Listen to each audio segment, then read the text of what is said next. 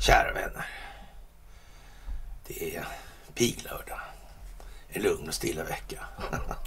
Ingenting händer i något som helst sammanhang. Men vi börjar med lite memorabilia skulle man väl kunna säga i pressfrihetens namn. För det kommer vi tillbaka till under dagens lilla, ja, andakt. Dagens lilla onsdagsmys. Ja, men det ska vi ta sen. Ja. Men jag börjar läsa. Ja, Svensk pressfrihet beskäres. Det är Eskilstuna-Kuriren den sjätte- 16 i sjätte 1941. Och de skriver alltså så här då. Ut i det okända. Nu skrider man till handling.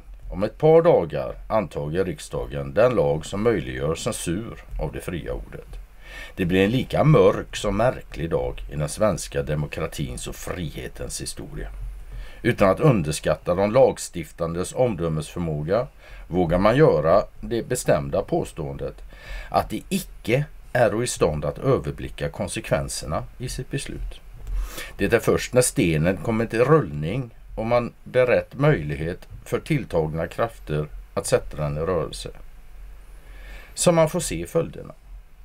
De ödesdigra verkningarna av de beslut som riksdagen går att fatta kunna icke avvärjas genom varma bekännelser till det fria ordet. Det är fastheten i hållningen och motståndsviljan som kommer att fälla utslaget. Ska du dunsa? punkt. Där satt den.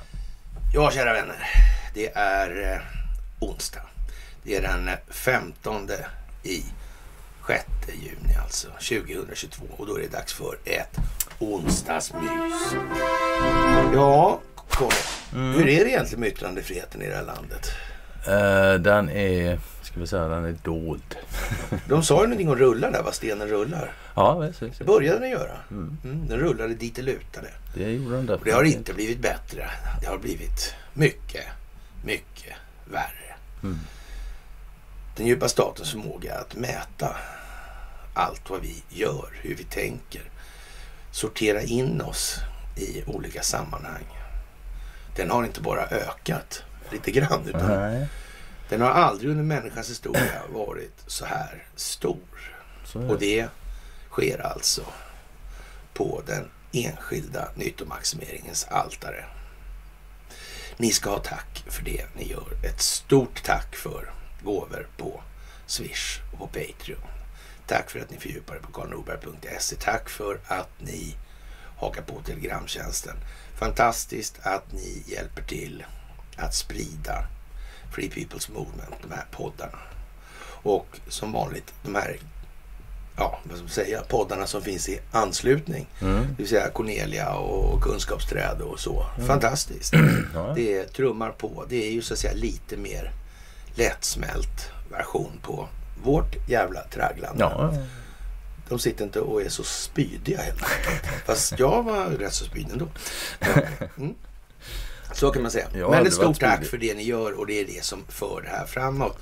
Och eh, man kan ju säga att det, det gungar nu betydligt i anslutning till det här, det här som Conny just läste upp. Och det började för länge sedan. Och då fanns det någonting där i 40, på 40-talets början här som hette då Statens informationsstyrelse. Och de försåg alla publikationer, alla så att säga, utgivare med gröna och grå lappar. Det vill säga de som inte fick publiceras överhuvudtaget. Men det där såg lite dumt ut då. Med tiden så fick man göra en liten alltså, säga, kringgång där och så fick man göra någonting som hette distributionsförbud istället. Man fick visserligen trycka dem, man fick inte distribuera dem. Så det, Ett sätt att lösa det på naturligt. Nej, ett maknade. ja, det är svenskt. Ja, det är jävligt svenskt. Det är svenskt. Det är svenskt. Idag, idag är det ju lite mer dolt som sagt var. Det är algoritmer och skit och hej och men Ja, det är inte så dolt heller. Det är bara försökt, försök gå ut på nätet och få tag på rysk media. Liksom. Ja, men eller hur. Till exempel. Ja.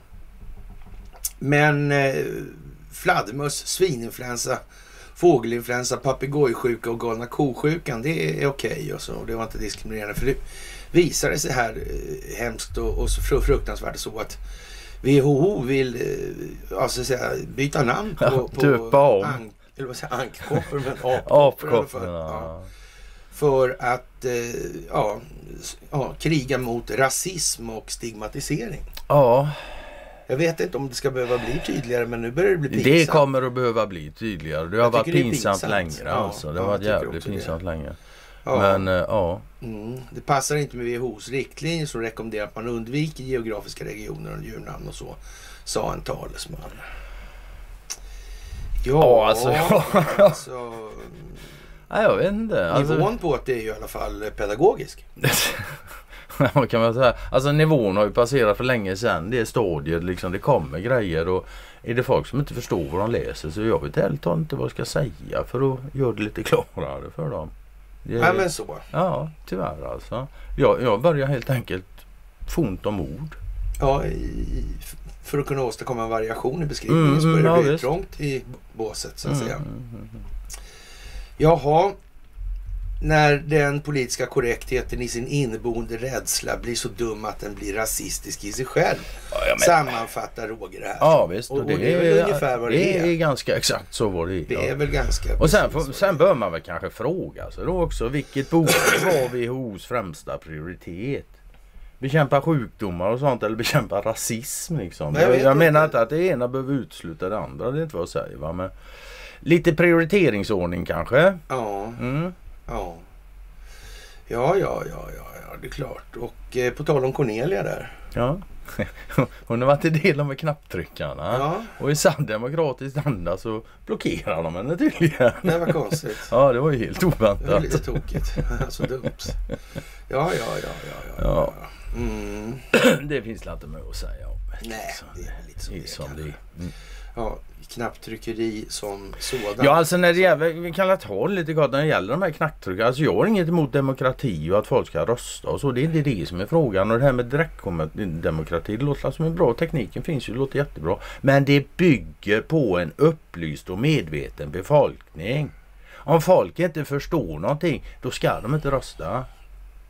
Det är bra om de vet vad de har att ta ställning Det är jävla fördel Och- och- alltså. Det finns en anledning till att vi har åldersgräns på röstande och sånt liksom. Ja, Ja. för det kan inte vara hur dumt som helst. Det kan inte här vara hur dumt som helst. Inte ens här. då hur dumma saker som helst. Det verkar vara onödigt tycker jag. Ja det kan man lugnt säga. Men det, tydligen är det nödvändigt för att folk ska fatta gång. Men de verkar inte fatta. Men om, om nu några människor förstår att en del problemställningar alltså är av större signifikans och betydelse än andra. mm, Och, och andra kanske inte förstår varför. Mm. Och så vidare. Mm. Då är, kommer man ju ändå tillbaka till det här. Då är det upplysning som gäller. ja. Du Ja. kommer aldrig förbi Man kommer ju liksom inte högre än vad siste man når. Nej, så i är så det. fall. Så är det. Och Svagaste länken i kedjan. om, om, det, om det liksom är det bästa. Nej, det kan inte vara det. Man skulle kunna säga att det kanske till och med är det sämsta. Det skulle man faktiskt kunna säga. Ja, Ja. Men det är lite som att låta siste man i loppet bestämma takten. Anna. Ja, Det, det, ja, men det är, är det, grann så. när ska du komma fram så är det ingen bra strategi liksom. Nej, Men ja. ja, ja, ja, ja. Ja, tänka sig Conny, tänka sig. Mm. Som svar på vår stilla bedjan. Så är det faktiskt lite diskussion nu om public service i det här Vara eller icke vara P1 morgon alltså. Och ja, i fredags inläggdes diskussion. Diskussionen för public service. Nästa sändningstillstånd igång i riksdagen. Det vill säga reglerna för hur Sveriges Radio, SVT och UR ska arbeta under åren 2026 till 33. Vad sägs om en enda enkel regel? Beskriv verkligheten som den är. Mm. Säg som det är. Så slipper ni alla... Det här är inte skitsvårt egentligen alltså. Det är fan inte det alltså. Men, men problemet är ju när de här då lånar sig till att och ränna i ränna När de prostituerar sig. Ja. Av enskilda Mm. vinstmaximeringsintressen. Då blir det ju lite tokigt. Alltså, hur ser det ut med opartiskheten och hur borde framtiden för svensk public service se ut, säger man då, för att ställa Mm. man sig frågan. Och då är det en debatt då mellan tidigare SR med Sveriges Radio-medarbetaren Jens Ganman som tillsammans med Aron Flam har skrivit boken Älskade public service Ove jo- Johansson, journalist och tidigare chef för Sveriges Radio. Och nu är det väl som vanligt med, med sådana här frågor. Va? Om den här debatten ska bli värd sitt namn, alltså debatt, Mm, mm. så krävs det åtminstone att det finns olika åsiktsinriktningar i det här. Alltså det det- finns olika sätt att se på Mm. det här. Och, och i det här sammanhanget så kan man väl eh, med ganska gott fog säga att det luktar lite grann som att, ja så att säga, de har bott i samma stia under väldigt lång tid. Alltså. Men så ungefär, varsitt hörn bara. Ja, sådär alltså. Ja, visst. Men, men det är klart, vad kan man begära alltså? Nej, alltså det, det är ju också som så här trots allt. Alltså om du nu är journalist och sådär. Menar, du, det här vi har byggt samhället som vi behöver. Du måste ha din lön. Och om du inte gör som du... Ja, om du inte följer ägardirektiven helt enkelt. Mm. Så får du ingen lön. Och får du ingen lön så men då är det fan inte lätt att leva det här samhället. Jag, men jag kan förstå en journalist som sitter där med småttingar och huslån eller vilken jävla yrkesgrupp som helst. Liksom. Mm. Men det är ju där systemet är väldigt självreglerande i sig själv. Ja, det kan liksom, man va? säga. Det kan man Mm. säga. Det kan man göra. Så, ja. Ja, om vi slänger oss lite grann då mellan topp och gran höll jag på att säga. Men, mellan public service och sunt förnuft. Ja, men lite grann sådär alltså. Och Europa borde inte vara rädda för att stänga av gasen då. Utan stänga av eh, Rysslands urankran här alltså. Det pågår Ja. eh, många diskussioner i EU idag där det väldigt ofta kommer förslag om att överge rysk olja och gas där EU-kommissionens ordförande Ursula von der Leyen insisterar på att det här måste uppnås så snart som möjligt. Men antingen av glömska eller avsiktligt så har de ingen brådska att ge upp en så värdefull råvara som eh, ja, Ryska federationen levererar till västländer och EU som Uranus. Det vet jag inte om det var skämt där. Det var Det är ju maskinöversättning. Ja, det är ju så det, men uran då ja. Your anus. Dessutom är EM, e, e, ja precis, dessutom är EU mycket mer beroende av det än av naturgasen. Samtidigt förvärvar unionen också från Moskva den teknik som krävs för att serva utrustningen vid kärnkraftverken. Och genom åren har Kreml investerat miljarder i att förbättra den tekniska processen för urananrikning, något som har nått mycket stora framgångar idag. Idag anses ryska kärnkraftsanläggningar vara bland de bästa i världen. Dessutom finns det 18 länder i EU med ryska reaktorer. Två i Bulgarien, sex i Tjeckien, två i Finland, fyra i Ungern och fyra i Slovakien. Europeiska kärnenergigemenskapen betonar att Europa är mycket beroende av Ryssland och extremt sårbart eftersom driften av tryckvattenreaktorer behöver bytas ut. Reaktorerna arbetar på rysktillverkade sexkantiga stavar som är bränsleelement västländer inte har någon erfarenhet av då i princip och reaktoranläggningar som Ryssland har. För eh, Kremls strategi var att förse västvärlden med billigt uran och kärnteknik. Därmed blir västvärlden också beroende av Moskva på kärnenergiområdet och trots Rysslands militära aktioner på ukrainska territorium fortsätter samarbete på det här området och det sägs inte ett ljud om det här med andra ord. För om sanktioner infördes i EU eller USA på kärnenergiområdet skulle detta lova mycket allvarliga svårigheter för dem då och i EU i synnerhet. Eftersom det i sådana EU-länder som Slovakien och Ungern får hälften av sin el från fredliga kärnkraft, den fredliga kärnkraften. Alltså för att undvika en sån situation bad amerikanerna, amerikanska NPP-operatörer den amerikanska regeringen att inte införa sanktioner mot Rosatom och fortsätta samarbetet. Det ska man väl kanske säga att den där Uranium One kan ha något. Den där Uranium One ligger och bubblar under Ja, det ja, här. den det kan är komma in. inget Det är Hillary Clinton och det är med hennes servrar och det är det gamla vanliga. Liksom. Ja, då. Ja, då. så är det. Mm. Det lär komma vad det lider. Ja, Så är det. man kan väl säga så här då. Utre, eller, ryska medier skriver så här då, alltså i frågan om det här, eller i anledning av det här. Våra redaktörer tror allt ovanstå- ovanstående inte bara vittnar om en välbyggd och mycket genomtänkt utrikespolitik för Ryssland utan också om en mycket hög utvecklingsnivå av rysk vetenskap och kärnenergi. Mm. Den här planerade utrikespolitiken, skulle den kunna hänga ihop med några andra länder då? Alltså? Utrikespolitik. Det låter som det skulle ha lite med andra bära, ja. ja. bäring på andra länder. Ja, faktiskt. vara. Alltså. Men en, en sak som är som de inte nämner det. De nämner ju det här att det är sexkantiga bränslestavar ja. och så. Precis. Alltså, ja, och det är ju rysk utveckling och hej och sådär. Mm. Det är alltså Rosatom som gör det. Men det finns alltså ett företag till då tydligen. På Bränslegatan 1 i Västerås. Vid Bränsleporten. De kan också göra sådana sexkantiga Ja, tydligen. ja, Vad det verkar. Ja. stackars alltså. Jenny Norberg. Det är inte det minsta synd om henne. Ja. faktiskt. Hon har inte riktigt koll på det här med vad FBI gjorde på insidan av den här uh, 6 Nej men det har ju inte Biden heller så vad fan. Det Men de var ju inte- där. De var ju där helt uppenbart. med Ja, ja. informatörer. Alltså. Frågan är om det fanns något annat än informatörer. Det kan man fråga sig. Vad gjorde de där? Ja, va- det är den ställde- stora den, frågan. Den frågan ställde vi förra myset. Alltså. Mm. Vad gjorde de där? Ja, det var ett år in i det som fortfarande kändes som pandemins allra mörkaste dagar. När jag stod i ett hus med vitfrostig gräsmatta utanför och sorterade lådor och lyssnade på NPR. Reportrarna rapporterade från något som lät som en krigszon i Washington DC. Det känns onekligen som en evighet sedan. Det var före bensinpriser, elpriser och inflation. Och vaccin och före krig i Ukraina. Ja det tror fan det. Donald Trump var ju fortfarande president. Ja. Det där kom ju inte förrän efter han försvann. konstigt. Ja. Men det 6 januari 2021 känns det här laget som en blipp i historien. Men runt tusen vittnen och tiotusentals dokument och 18 månader senare lägger nu representanthusets 6 januari-kommission fram sin undersökning. Det här är ju dött och begravet redan. Hon är liksom inte på bollen riktigt. Så här, det var ju inte förra veckan där. Ja. Liksom. Och, och den där är ju söndersågad i små bitar och vi började ju som sagt att hon har ju liksom inte koll på att de hade, FBI hade fullt med. Vad gjorde de där då där egentligen? Ja, och så vidare. Så här. Man kan säga att hon håller Ja. sedvanlig svensk journaliststandard. Ja, precis. Vem visste vad, när, hur kunde det hända och vilka ska hållas ansvariga? Och här får vi naturligtvis en litania ja, som låter som jag vet inte vad. Men i alla fall. Låter som svensk Det journalist. blir mycket sånt nu för att, att tydliggöra att Mm. det- det här jallarhornet är alltså inte längre i eller under kontroll av den djupa staten utan det här handlar om folkbildning. Det här är som vi, eller plägar, som vi plägar säga, återkommande alltså. Det här är ett stingoperationsbaserat folkbildningsprojekt av ett, en aldrig tidigare skådad omfattning på det. planeten.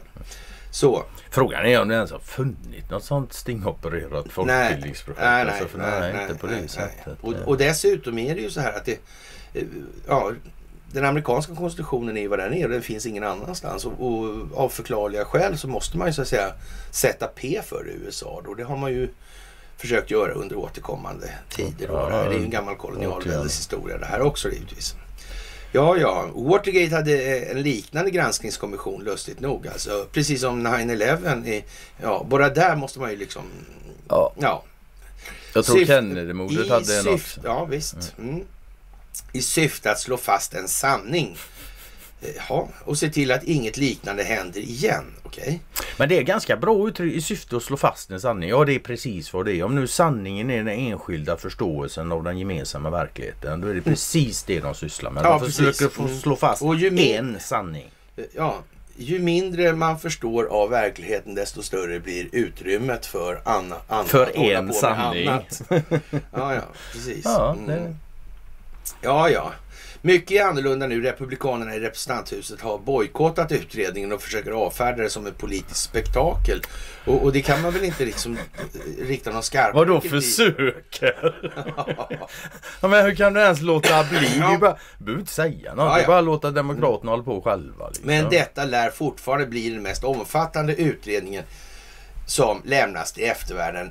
Ja, det kan man också hålla med om att det kommer att bli. Därför att det här är sista gången tror jag. Ja, men så. Så, så ja.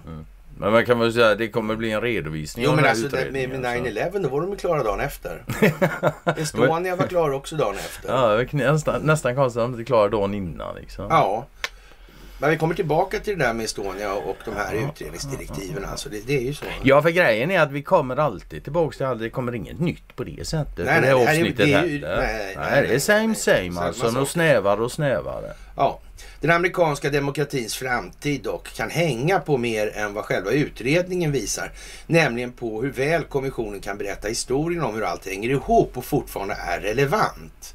Detta kan bara ske, som vi numera vet, genom små effektfulla munsbitar eh, eh av elefanter. Nej, med detaljer som får snurr på sociala medier. Jag vet inte. Ja, här är säcken som kommissionen med sju demokrater och två av sitt eget parti utskällda republikaner ska försöka knyta ihop alltså. Det ska vara, ha varit i påse innan det kom i säck, eller fan menar hon här alltså? Ja. ja men hon är lite rolig när hon skriver Ja, så ja, här, alltså, ja, De ja, försöker ja. knyta ihop det och Ja. de försöker fixa. Vad fan har de problem med det eller? Jag menar, Ja. om de beskriver sanningen eller verkligheten som den är. Ja, Då ska det inte vara några större problem kan Nej man men tycka. precis. Att Trump och hans medarbetare inte bara ljög om valresultatet utan också ljög medvetet. Jag tittar inte på mig. Nu blir jag lite, jag blir lite orolig. Jag har, haft, jag har haft mycket kommunikation med henne. Det har inte Det verkar jag. precis som att hon har, eh, levt ett vidlyftigt liv med droger under för lång tid alltså. Det har däremot jag gjort men jag kan ändå vara skarpare än hon. så det var fan. Vad är det för jävla grejs? Ja men eller hur? Alltså, det där, Ja. Ja, ja. ja. Utan också ljög medvetet. Mm. Okej. Kan man ljuga omedvetet? Jag, jag skulle ställa den frågan men det är så jävla dumt så jag skiter i det. Jag tackar dig för, för den uppoffringen alltså.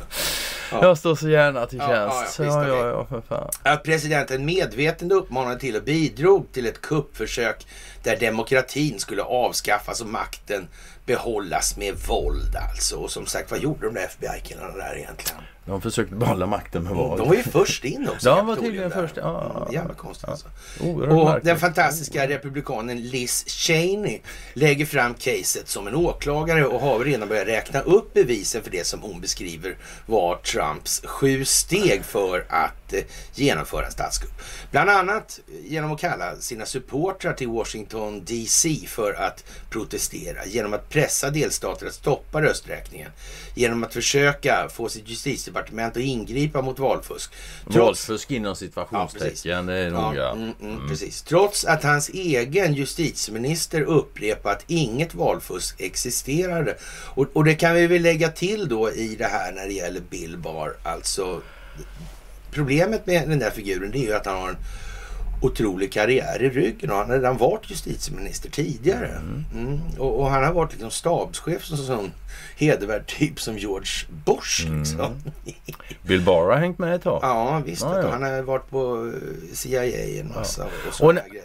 Och när han nu sitter och blir filmad och, och, och, och, och, pratar om det här att han har inte sett något valfusk då. Och han avslutar hela den här filmsnutten med att säga inte ens efter han tittar på 2000 mulor. Mm. Och så gapskrattar. Och det måste ju vara helt enkelt för han tänker när han säger så att ingen kan vara så dum som att tro på att jag tror på vad jag säger nu eller. Ja. Och då blir det naturligtvis så att massa demokrater måste titta på det där. Men Jenny har nog inte tittat på vare sig det eller 2000 Nej, det verkar lite som det faktiskt. Mm. Faktiskt alltså. Och eh, ja, och hur han uttryckte sitt gillande inför att vicepresidenten kanske borde mördas för att förhindra att han erkände Biden som segrare. Nu var det väl kanske inte, så Inte att Donald riktigt Trump så riktigt jag uppfattar såg så på saken. Och, och dessutom var det väl, nu har det visat sig sen när de så att säga mer skolade i den amerikanska konstitutionen har granskat det här att det hade varit svårt alltså för Pence att göra det där på något vis. Mm, verkar Och, och ja, det skulle kunna vara så att det är alltså in i minsta detalj som Charles-Ingvar Jönsson skulle säga. In i minsta det detalj. Ungefär som några ryssarna var på. Det var skickligt förd utrikespolitik i det här sammanhanget. Det får man ju säga. Ja. Hur som helst, inga nya stora hemligheter som hållits bakom lyckta dörrar lär avslöjas i alla fall. Mellan det som videofilmades i realtid och det som säkerhetskameror plockade upp finns en nästan fullständig bild av den 6 januari. Liksom vad som ledde fram till det här. Och det, Det gör det, gör det en hel del mulåsneövervakning Mm. motsvarande i det här också. Och den är ju inte obetydlig och den kommer komma upp här nu den här ja. veckan sägs det till och med. Och, och det i sin tur kommer ju få den här 2000 mulor att framstå som, ja vad kan man säga, en liten, Fjärt i men Mississippi. en liten aperitif. Liksom. men- det, hon skriver lite roligt så här, det som videofilmas i realtid och det som säkerhetskamerorna plockar upp finns en nästan fullständig bild av 6 januari. Ja, det stämmer Janne, det gör det faktiskt. Och det är inte bara nästan, den är nog hyfsat fullständig. Det är bara ett problem med detta. Och det är att den här jävla 6 januari-kommissionen, de släpper inget material från den här. Det är tiotusentals Mm. timmar filmat. Mm. De släpper fan knappt 10 minuter ens liksom. Nej. Nej. Men, Men, det de, de då att de inte behöver. undersökningskommittéerna som håller på då, de, på riktigt då kollar det här valfusket. Mm. De har ju dem. De har det. Ja, så kul. Så det, så det. Ja, vem kan de få dem av? Ja, det är en bra fråga. Då. Det måste ha varit någon hö högt upp som var bestämt. Jag tror faktiskt Det var inte residenten i alla fall. Jag tror det var, jag tror det var Eriksson som sa kolla vad vi har. Kolla vad Ja, vi har. vi har, Ja. precis. Kolla på det här, kolla på det här.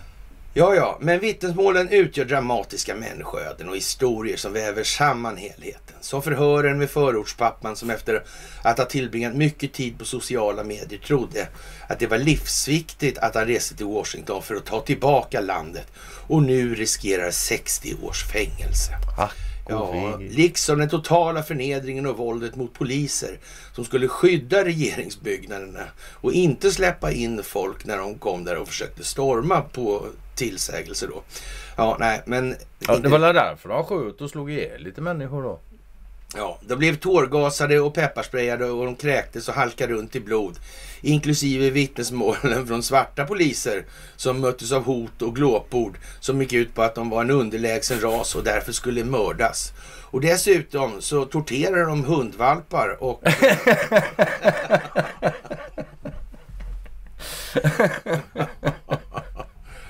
Alltså jag vill inte säga att det här är marknadsgyckel alltså. Nej, Det nej, nej, men, Men det är under... men det är det ändå. Det är under marknadskrafters inflytande i alla fall. ja, ja. Och, och det beskriver inte verkligheten. Inte Så överdrivet väl. nej. marknadsgyckel kan ändå sägas vara en- en ganska rättvisande beskrivning som absolut. begrepp betraktat i det här. Det alltså. tycker jag faktiskt. Ja, det är också graverande hur Trumps medarbetare försökte distansera sig när de insåg att de höll på att bli delaktiga i något som kunde ses som ett försök till statskupp, inte minst den egna familjen. Både Jared och Ivanka Trump förhördes eh, om vad de visste och förstod under de här 187 minuter som förflöt innan Trump uppmanade sina supportrar att dra sig tillbaka. Mellan att han sa att det skulle ja, fight like hell och tidigare sagt eh, stand, stand back and stand by till Proud Boys och Oath Keepers. Det är våldsamma extremistgrupper som visar sig vara ytterst välorganiserade och samlar på sig vapen just för detta tillfälle. De var säkert nazistiska Ja, också. vad, har jag, vad tror du Jenny har gjort eftersom de har förtjänat att få Jag vill inte här? veta vad Janne har gjort. Nej, men det verkar Jag inte vill inte veta. Nej du för fan. Det För, för, för, så. var tvungen att sätta sin namn under den här jävla redovisningen av verkligheten. Ja, Ja det finns ju två alternativ. Det det som- antingen, ja. antingen så fattar hon fan ingenting alls och det tror jag faktiskt inte. Eller så har Nej, hon fan nej, gjort nej. riktigt dumma Ja, jag har saker. i alla fall förklarat det för henne. Ja, jag har förstått ja, det. Ja, Men tror det behöver inte finns, betyda det, fin, det finns på bloggen också. Det är bara att söka på Men det behöver inte betyda att hon har förstått det. Förstår Jenny Norberg i sökrutan så hittar ni. Ja, i det som redovisas hittills framgår att både Jared och Ivanka förstod att valet var förlorat när Trumps justitieminister vägrade gå på presidentens linje. De bestämde sig därför snabbt för att flytta till Florida för att rädda det som gick av sina egna rykten. Samtidigt hoppades Trumps anställda på att Jared och Ivanka skulle övertala Trump att ge upp. Men hur långt kan kommissionen realistiskt nå i landet som nästan helt saknar gemensam sanning? eh, ja, ja. Ja, hon försöker så gott hon kan. alltså. En given tittare nu, nuvarande justitieminister som ska avgöra om Trump själv bör åtalas. Det är redan utrett att det blir inget sånt brott, eller inget för något brott. Alltså. Mm. Men att kommissionen skulle nå fram till en knappa minoritet av amerikaner som fortfarande är övertygade om att valresultatet stals från Trump. Det är inte realistiskt alltså. Den knappa majoritet som tror det.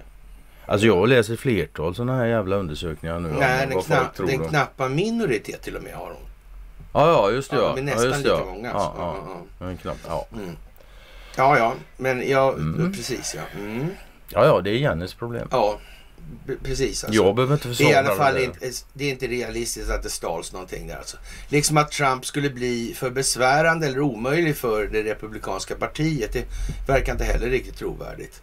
Men i all politik finns några eh, lite mer mot mitten som eventuellt går att göra intryck på. I det här fallet kanske en grupp republikaner som ändå tycker att 6 januari inte var okej och därmed funderar två gånger inför 2024. För de mest besvärande frågorna handlar inte om vad som händer i mellanårsvalet i höst. när De har redan tagit ner flaggan alltså. Ja, Det gjorde ju redan Tydligen. Carl, Bildt häromdagen. Ja, ja. De har klart för sig ungefär hur tågordningen ser ut eller Mm. hur tidsaxeln är utmätt i olika sekvenser. så är det. Utan om nästa presidentkampanj och vilken syn kandidaterna och väljarna har på vad som faktiskt utgör fria och demokratiska val eller om det ens behövs. Ja, Och det, det har ju lite rätt på ett sätt liksom. Ja, För det här jävla 6 januari-spektaklet det handlar ju om att förhindra Trump från att ställa upp 2024 då. Mm. Så, ja, blir han, Mm. blir han åtalad och dömd och grejer så kan Ja. han inte göra det. Va? Och det här är alltså en del i det här Sting-projektet som fortfarande rullar. Det handlar, eller Sting-operationen, den- rullar ju på alltså. Och, och, och det ska visas vad de håller på med i all sin prakt då, i det här. Ja, om det aldrig blir några konsekvenser för den innersta kretsen av det som hände den 6 januari 2021. Vad händer då nästa gång Trump ställer upp och förlorar en rösträkning och blåser i visselpipan för att hans följare ska marschera mot kongressen? Att det står ständigt beredda berättar de själva ofta och gärna om. Liksom att de nu eh, är ännu bättre rustade. Ja, jag menar vadå? Om det aldrig blir några konsekvenser för den innersta kretsen och det som hände 6 januari 2021. Ja, eh, Pelosi, kan inte hon räknas till den innersta kretsen? i Det, det jag nog va? jo. Ja. Det Det finns jag. några till. Jag ska sitta här och rabbla namn liksom. Hon skriver så jävla dumt så man... Det gör liksom ont i ögonen att läsa det ibland. Ja, och det är meningen. Ja, fine. Det Så är, är det. meningen. Ja. Så är det. Jaha, Och det, alltså, det är inte det som är störande att hon skriver tvärtom. Jättebra alltså. Det som Ja. stör det är att det inte gör ont i så, så många ögon. nej precis. Det är alltså. det som är...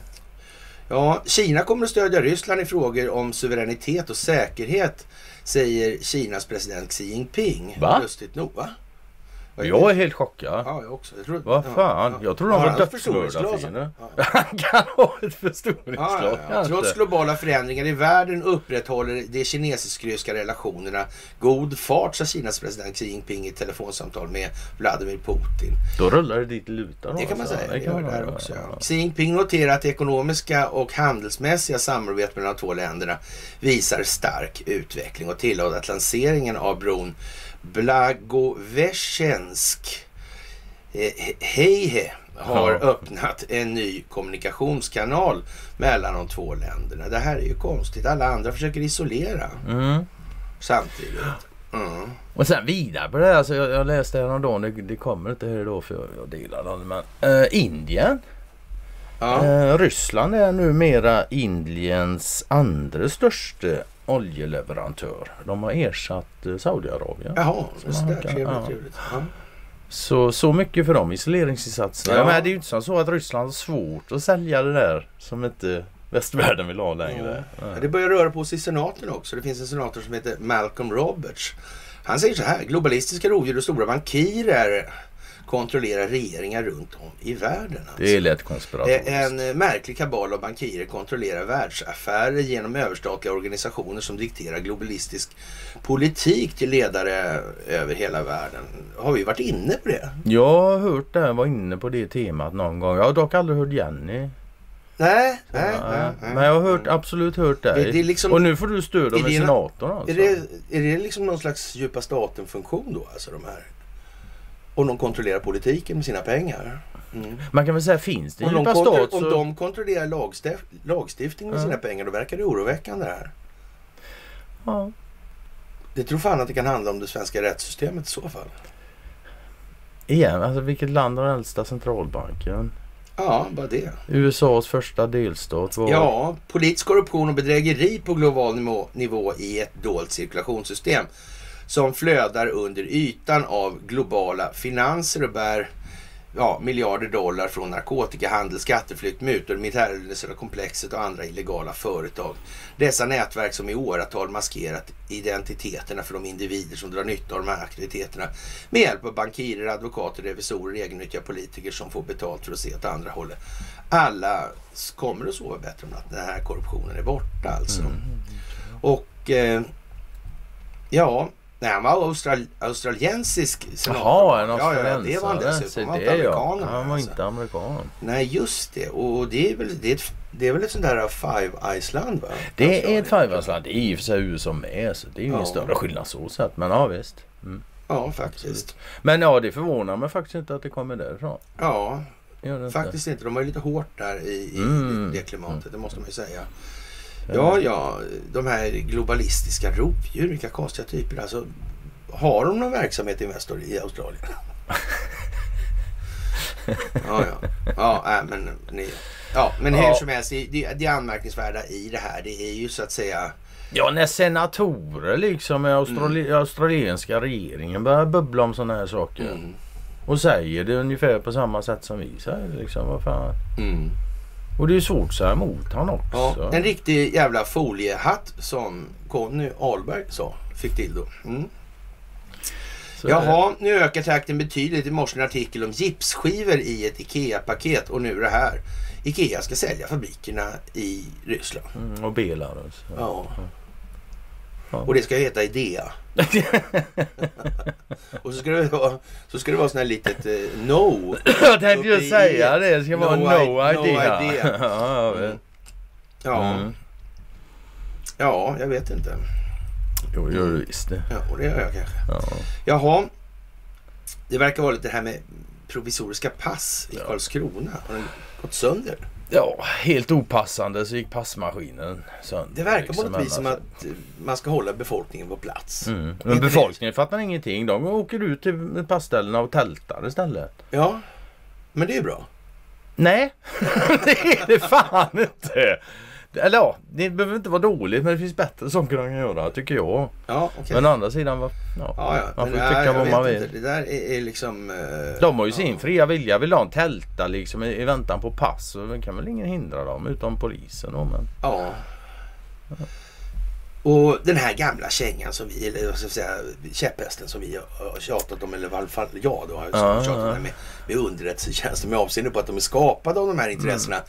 Så, så kan man ju nästan säga att det finns lite i väggarna i grunden så att säga till vad de bedriver för verksamhet. Vi bör behovspröva deras verksamhet. Ja men enkelt, eller hur va? alltså. Och, och nu reser sig den här frågan även här i Sverige. Ja, ja sakta men Faktiskt säkert. alltså. Det, det är lite speciellt. Alltså vad ska vi med de här entiteterna till? är ju den fråga som vi brukar ställa oss. Vad gör de här egentligen Ja. ens då? Ja, de missbedömer ju Ja, och- och- uppenbarligen eh, krigsrisken I Dagens. Nyheter idag så, så har de en rubrik alltså. Och Det här kommer från källor då. Det är ju som vanligt kanske vad det är då. Men, men ändå får man säga så här att DN har sitt genomslag ändå. Så efter den här Så är artikeln det. så kommer i alla fall inte förtroendet för den militära underrättelsesäkerhetstjänsten att vara förbättrat. Nej. Och, hon... eh, Det stärks inte av det här. Ja, metoo-tantan där som har suttit och, och visat att hon är helt opolitisk. Mhm. Då, sådär. Hon- hon har nu hamnat i ett prekärt läge som man brukar säga i de här sammanhangen. Alltså. Och eh, Sveriges militära underrättelsetjänst missbedömde Rysslands hot mot Ukraina.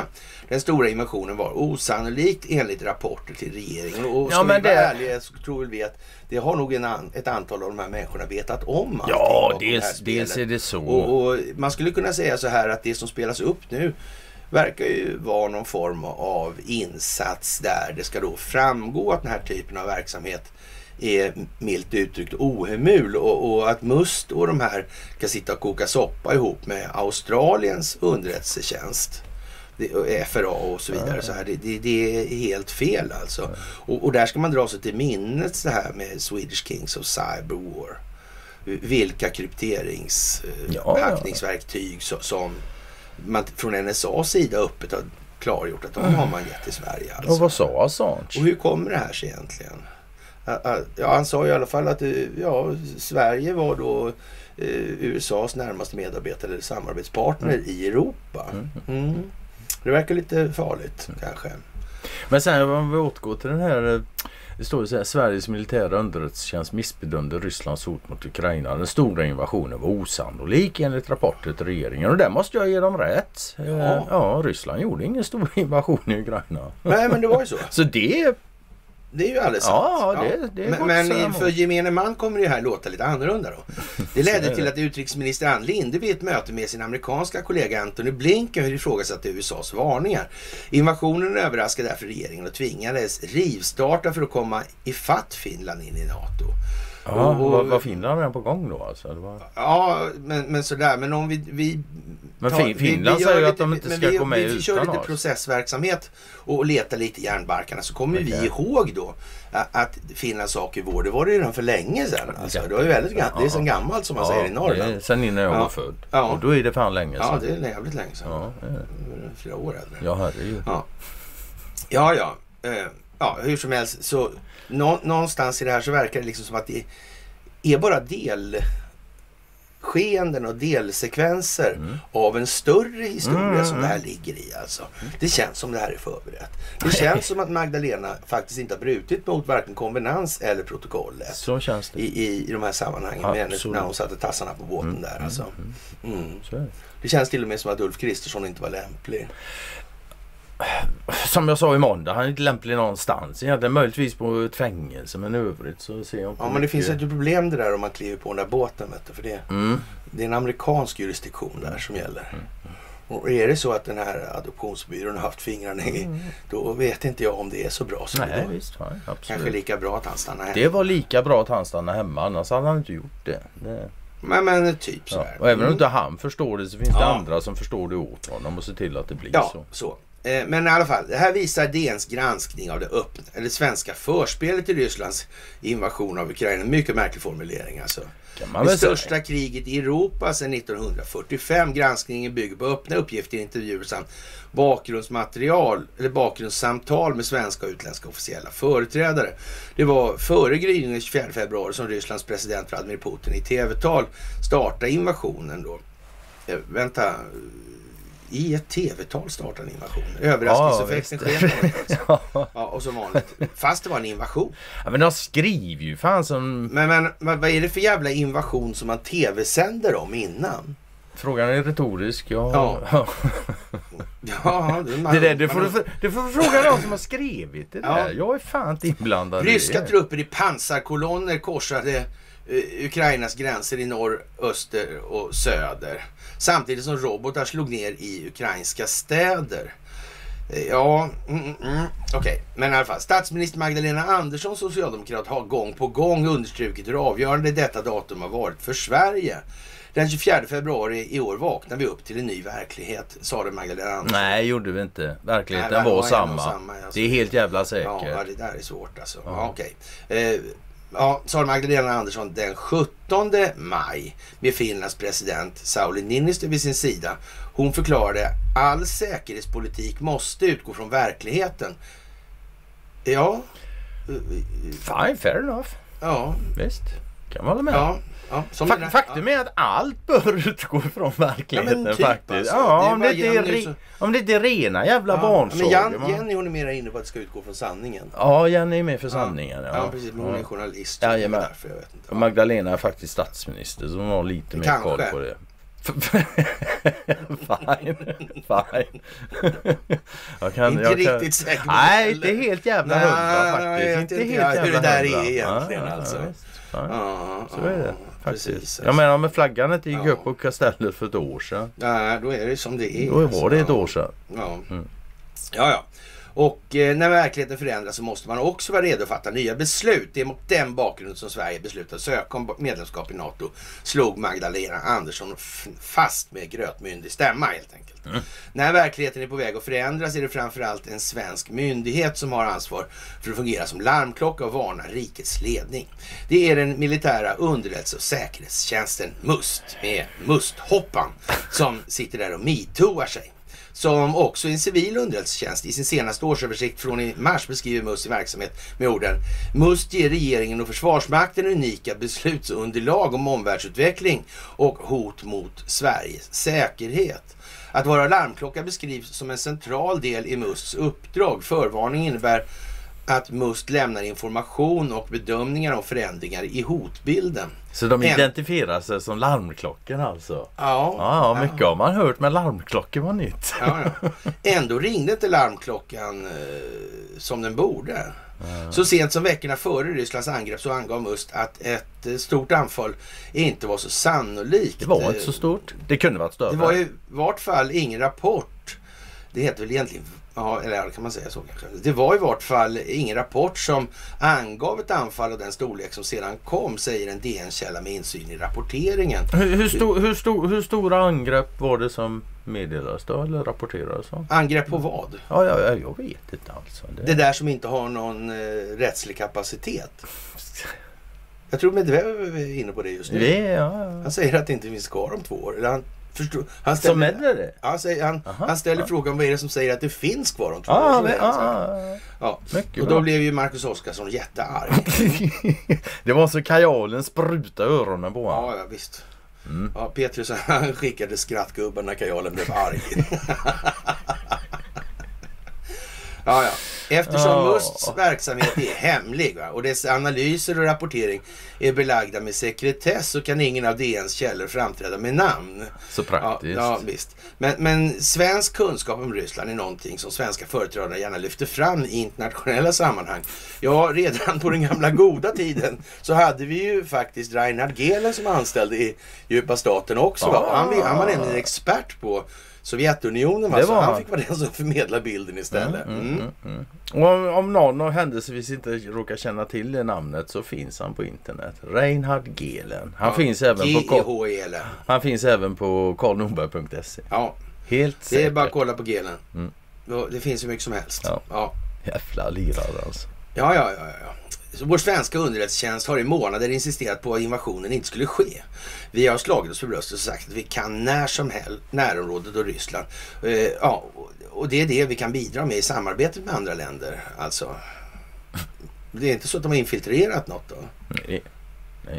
Nej. Och de har inte infiltrerat de andra länderna? Nej. Nej, Nej. Nej förlåt, fan förlåt. Du är så Ja. konspiratorisk. Ja, ja. ja. Mm. Ja. Men nu gjorde vi en fullständig missbedömning, säger en annan DN-källa med insyn i de bedömningar som har gjorts. Ja men det är starkt gjort ändå att stå upp och Ja, ja, erkänna precis. detta. Det Detta trots en rad oroande tecken på att Ryssland förberedde ett storkrig. Eh, jaha.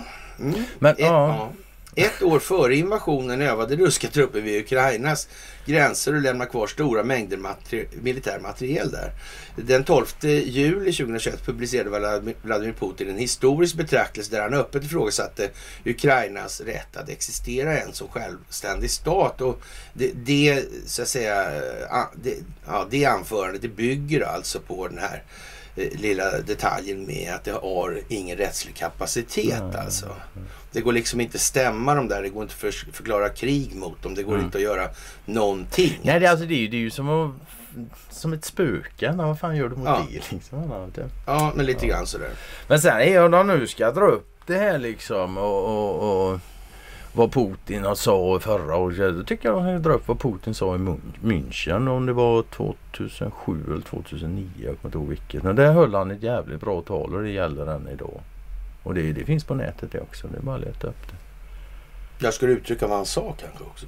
Nej, han sa så himla mycket sådär alltså. Men det handlar ju om, om, om Ryssland, hur de ser på världen och varför de gör som de gör nu. Läser du det så står det varför de gör som de gör nu. Det handlar ju om helt enkelt om västvärlden. De kryper österut. Ja. Och har gjort. Och det, Måste det, göra det. Ja, och det tror fan att Ryssland inte kan acceptera. Det har inte jag heller gjort. Speciellt inte om man kan lite historia. Mm. Det, jag menar, Ryssland har aldrig så vitt jag vet försökt lägga sönder hela världen. Man kan säga att naturresurser är i De ligger där de ligger. Ja, och de, De ligger där är de ligger. Ja, visst. Ja, och, de, och de har världens största tillgång Mm. på realvärden. Mm. Och vad ska vi säga? Eh, Ja, då, då kan man... västvärlden har världens största tillgång på hittepåpengar och digitalkonfetti. Ja, exakt. Aldrig så. mötas det två. Nej, men visst. Ja.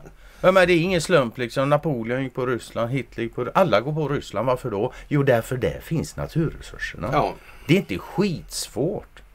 ja, Det är fan inte det. ja. I september genomfördes alltså den största militärmanövern på 40 år med 200 000 ryska och vitryska solda- soldater. Alltså. Ja, Zapad 2021 då. Under senhösten drog, drogs ryska trupper samman i närheten av Ukrainas gränser. Ja, det, det är väl lite sådär. USA och Storbritannien börjar läcka ut hemliga underrättelser om ryska planer. Tänk. Jaha. Ja. Men hur fan hem, hur hemliga är de? Vad någon kan... Ja. Syftet var att få Putin att avstå från invasionen. Okej. Ja, ja. I detta allt mer spända läge möttes USAs och Rysslands utrikesminister den 2 december i Stockholm. Det var Europeiska säkerhets och samarbetsorganisationen OSSE som samlade 57 utrikesministrar till möte. US, USAs utrikesminister Antony Blinken varnade öppet för en storskalig rysk invasion på sin presskonferens. USA, våra allierade och partners är djupt oroade över bevis för att Ryssland gjort upp planer på betydande aggression mot Ukraina, sa USAs utrikesminister. Antony Blinken hamnade i Stockholm i ett ordkrig över Ukraina med sin ryske motpart Sergej Lavrov, vilket DN rapporterade om då. Då vill de ha beröm för det alltså. Ja, mm vad fint. Under OSSE-mötet i Stockholm där Ann Linde var ordförande utspelade också ett annat eh, meningsutbyte som hittills varit okänt. Det var mellan Ann Linde och Antony Blinken, en amerikansk officiell företrädare som inte får namnges, säger om mötet. Vi delade med oss underrättelseinformation till våra partners i en utsträckning som saknar motstycke alltså. Enligt DNs källor ifrågasatte Linde eh, USAs varningar för en rysk invasion. Talet om krig gjorde situationen för Ukraina svårare ansåg hon. Linde framhöll istället att bedömningarna från Sveriges egen underrättelsetjänst talade emot en invasion alltså. Och, och som sagt, hon har ju varit lite eh, ja, man får man säga så. Hon har ju dansat rätt följsamt ändå alltså. Fast naturligtvis eh, till den melodi som hon, Ja, hon ska ja, dansa ja, till. Men, men man får nog säga så Det är här. inte hon som har fört. att när vi gör bokslut på det här Mm. en, en gång i tiden. Då kommer vi ju kunna konstatera helt garanterat, helt jävla säkert faktiskt. Att eh, förutan Ann Linde så hade inte det här gått att genomföra. Nej, fan fair enough. Så Det kommer det, gäller, det gäller liksom många Så, så, faktiskt. så kommer det vara. Oavsett vad de så att säga Kan nog gälla Morgan också och inte minst Magdalena kanske. Det, det finns absolut. Ja, ja, ja. Svenskarna var skeptiska till informationen och eh, det och en del andra högt uppsatta europeiska officiella företrädare trodde inte att Ryssland verkligen skulle invadera Ukraina, säger DNs amerikanska källa. Eh, Ja, de länder som varnade för en invasion var USA, Storbritannien och Kanada. Ja, och så kommer det här då, eh, påpassligt Five då. Ja, Eh, som alla tre ingår i den exklusiva underrättelsealliansen Five Eyes. Eh, Skeptiska till en invasion var, förutom Sverige, Frankrike. Det var där han fick den där ja, eh, Hederslegionen. hederslegionen. Ja, va? ja. Var det inte så? Så Tyskland Det då, det så. gamla Gelenhaket. Jajamän. Ja, Gelinisterna. Ja, de, de har ju massa storörnar och sånt. Ja. som de brukar Ja, men ut. precis. Alltså, ja. och sen är ju lite det med... Alltså vad var detta? DN var det va? Ja, Ja, DN. Ja, ja. DN måste snart vara den enda jävla entiteten i hela världen som inte vet att Five Eyes fick sjätte öga senast 1954. Ja. I form utav det land som idag kontrollerar telekominfrastrukturen och gjorde det då också. Mm. Och Det- ja, en Eyes utan telekominfrastruktur. Men det går sådär. Brevduvor är inte modernt längre. Nej, det är bara Rothschild som har Det är bara Rothschild som kör med dem nu Ja. för tiden. Ja. Den 3 december avslutar OSSE möte i Stockholm. Samma dag publicerar Washington Post satellitbilder och detaljuppgifter om en rysk invasion av Ukraina i början av 2022. Ryssland planerar en massiv militär offensiv mot Ukraina med eh, 170 000 militärer varnar USAs underrättelsetjänst. Ja, om de samarbetar så tror väl fan att de har spelat det här som de har gjort. Ja. Finns det en, alltså, en koordinerad motverkan mot djupa staten så får man säga så här, det är fan, det är mönsterpassning på det här. Ja, alltså. ja visst, visst. Det är det. Absolut. Mm. Även försvarsallianten NATO varnade i sitt allt starkare ordalag för en invasion. Det berättar NATOs generalsekreterare Jens Stoltenberg i en DN-intervju den 16 mars. Alltså. Ja, efterhand som Ryssland bara fortsatte uppbyggnaden av styrkor under hösten, över julen och nyåret så, så blev jag mer och mer säker på att de kommer invadera. Det var också det vi sa och varnade för. Det finns knappast någon invasion någonsin som det varnats så mycket för säger Jens Stoltenberg och, och belyser kanske därmed själva problematiken med överraskningsmomentet. Ja. Om det inte ens har funnits någon invasion någonsin som det varnats så mycket Nej. för. Vad, vad, vad, vad var problemet? Om man nu så att säga, om det har varnats så mycket, inte har varnats så mycket som det här någon gång. Mm. Ja. Eh, Då, då kan man väl, väl på något vis liksom, då skiter de väl i allt då. Ja. Ja men när fan ska de säga emot då? Mm. Ge fan i att invadera. Men det, ja. Men, ja, fan. Ja, ja, men, men Sen är jag jag menar, man kan ju säga så här också. Sveriges underrättelsetjänst framstår inte som den mest skarpa i den här artikeln. Nej men det är väl det jag vill sa från början lite grann. Att det, vad, opinionen blir för gällande ja. Musta. Och det är allt det handlar Och hon sitter där och snackar metoo va, i ljuset av att Pride och allt det här börjar se ut som jag vet inte vad. Liksom. Mm.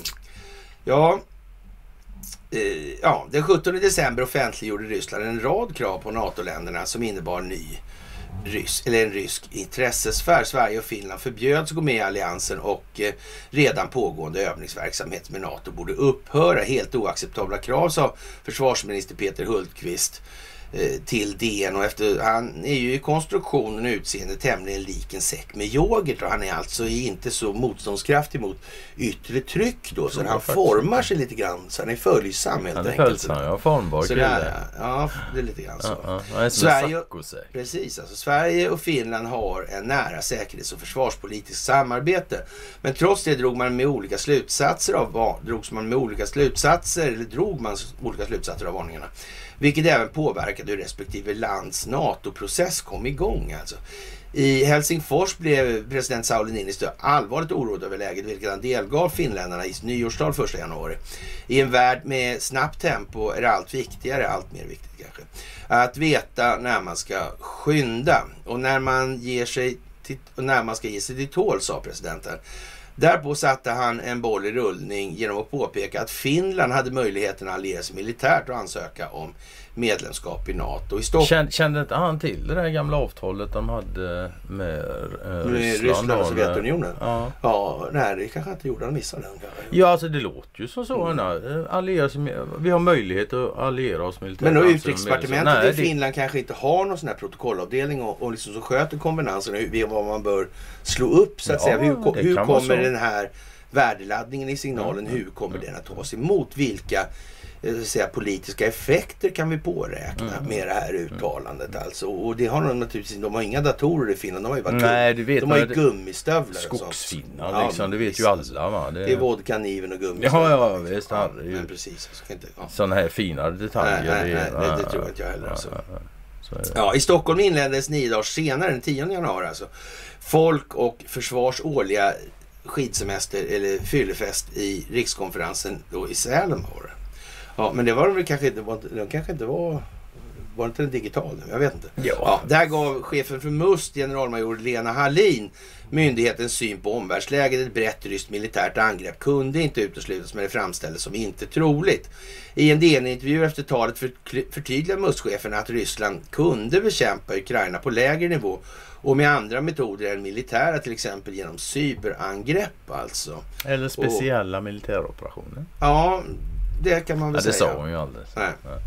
Missade. I möjligaste mån försöker man, Ryssland då, alltså DNs anmärkning, undvika att göra en militär insats. Det handlar ju om att behålla eskalationskontrollen och att inte utmana för mycket, sa Lena Helin och tillade. Sen gör vi bedömningar av vad som är troligt och sannolikt, men det ger vi till våra uppdragsgivare, svarade MUS-chefen då. Enligt flera DI-källor låg beskeden till uppdragsgivaren, uppdragsgivaren regeringen i linje med vad som framfördes på rikskonferensen. Eh, Ryssland skulle inte trappa upp, eskalera och genom att starta ett nytt eh, eller ett militärt storangrepp. Det vore allt för riskabelt och kostsamt. Och de hade ju ändå haft eh, de här kemlabben under uppsikt då sedan 2014. Jag satt just och, Och- tänkte på. Ja, Jag tänkte fan hon kanske inte kände till dem Östtanta. Så kan det ju vara. Nej, kanske Det är inte. därför hon gör de här bedömningarna som hon Nej, gör. Liksom. nej. Hon har nog ingen aning om Ja, men man kan väl säga så här över, överlag inom svenska försvarsmakten så har eh, inte alla karriärer bara gjorts på eh, fullt militära meriter då. Så kan vi säga. det. var faktiskt ganska fint uttryckt. Ja. ja. Det, eh, och det var väl värre i början då vill jag påstå. Vi blev ju inte alla då eh, generaler alltså, men, men det, det försöktes göra karriär ändå om man säger som så. Mm. Mm. Det var väl inte så lyckat kanske. Mm. Ja, det var också de här bedömningarna som den svenska regeringen fortsatt tog fasta på. Medan ett oroat Finland diskuterar möjligheten att snabbt gå med i NATO så var det liksom helt uteslutet för Sverige. Den 24 februari kom, var invasionen ett faktum. Samma kväll sa utrikesminister Ann Linde i SVTs eh, Aktuellt att det, att, det här, att det blev så här omfattande omedelbart, det måste jag säga var oväntat då. Och eh, vi hade inte uteslutit det här, men, men jag kan ändå säga att det är förvånande att Putin valde att gå in så massivt från öster, från söder och från Vitryssland, sa Linde då. Finland skickade direkt eh, diskreta signaler om att landet var på väg mot NATO. Sveriges regering, som en vecka tidigare slagit fast att den inte skulle söka NATO-medlemskap, försökte hitta fotfäste i ny säkerhetspolitisk verklighet. Det var väl ändå kanske samma verklighet man hade blundat eller vad man nu hade gjort. Det återstår att se. Ja, Magdalena, det kommer att bli som det ska i alla fall. Eh, Magdalena Andersson gjorde en rivstart då alltså, en opinionsbildningsmässig rivstart med resor och möten med Finlands och USAs presidenter och ledarna för Västeuropas stormakter.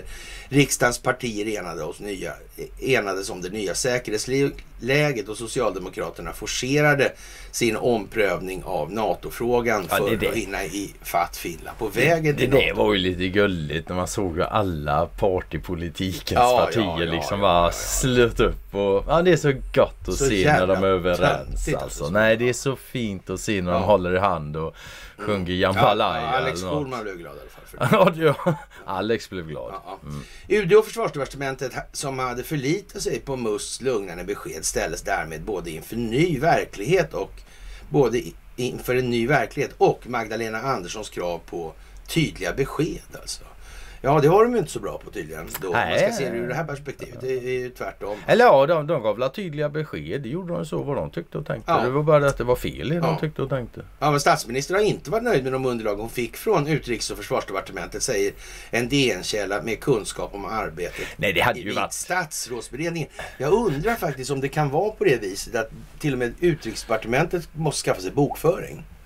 Det vore ju för fan slag under bältet. Ja, men hur ska Det... det gå då med Sida och allt? Ja, nej, nej, det är det. Nej. Ja. Nej, jag vet inte. Det kanske, det kanske inte har med det att göra överhuvudtaget. Nej, alltså brist, man springer runt och skylla på bristande underlag. Det är ju bara från Ja. sig ansvar. Ja, Jävla fegisar. Att den 24 januari innebar ett uppvaknande för regeringen står alltså klart eftersom MUST inte fungerat som larmklockan. DNs källor uppger att MUSTs rapportering dock har blivit bättre efter krigsutbrottet. Ja, den kunde ju knappast blivit sämre. Nej. Och då kommer gamle Wilhelm in i bilden alltså som professor emeritus i underrättelseanalys. Och en av Sveriges främsta experter på området. Alltså, och en svensk expert, det är någonting man ska tänka sig för två gånger. Man undrar ju lite grann varför frågar inte Must honom? Ja, men eller hur? Han är ju för fan expert. Ja, men eller hur? Eh, Då, och, då blir ju nästa fråga, Ja. varför ska vi med Must till om vi nu har Han experter? är en expert för att upprättälla förtroendet för det här systemet. Jo, det är men ju, så är det ju. Som Rickard Friberg ungefär. Ja, ja. Ja, ja. Nu, nu Men förstörde då- du då- allting. Ja. ja, ja.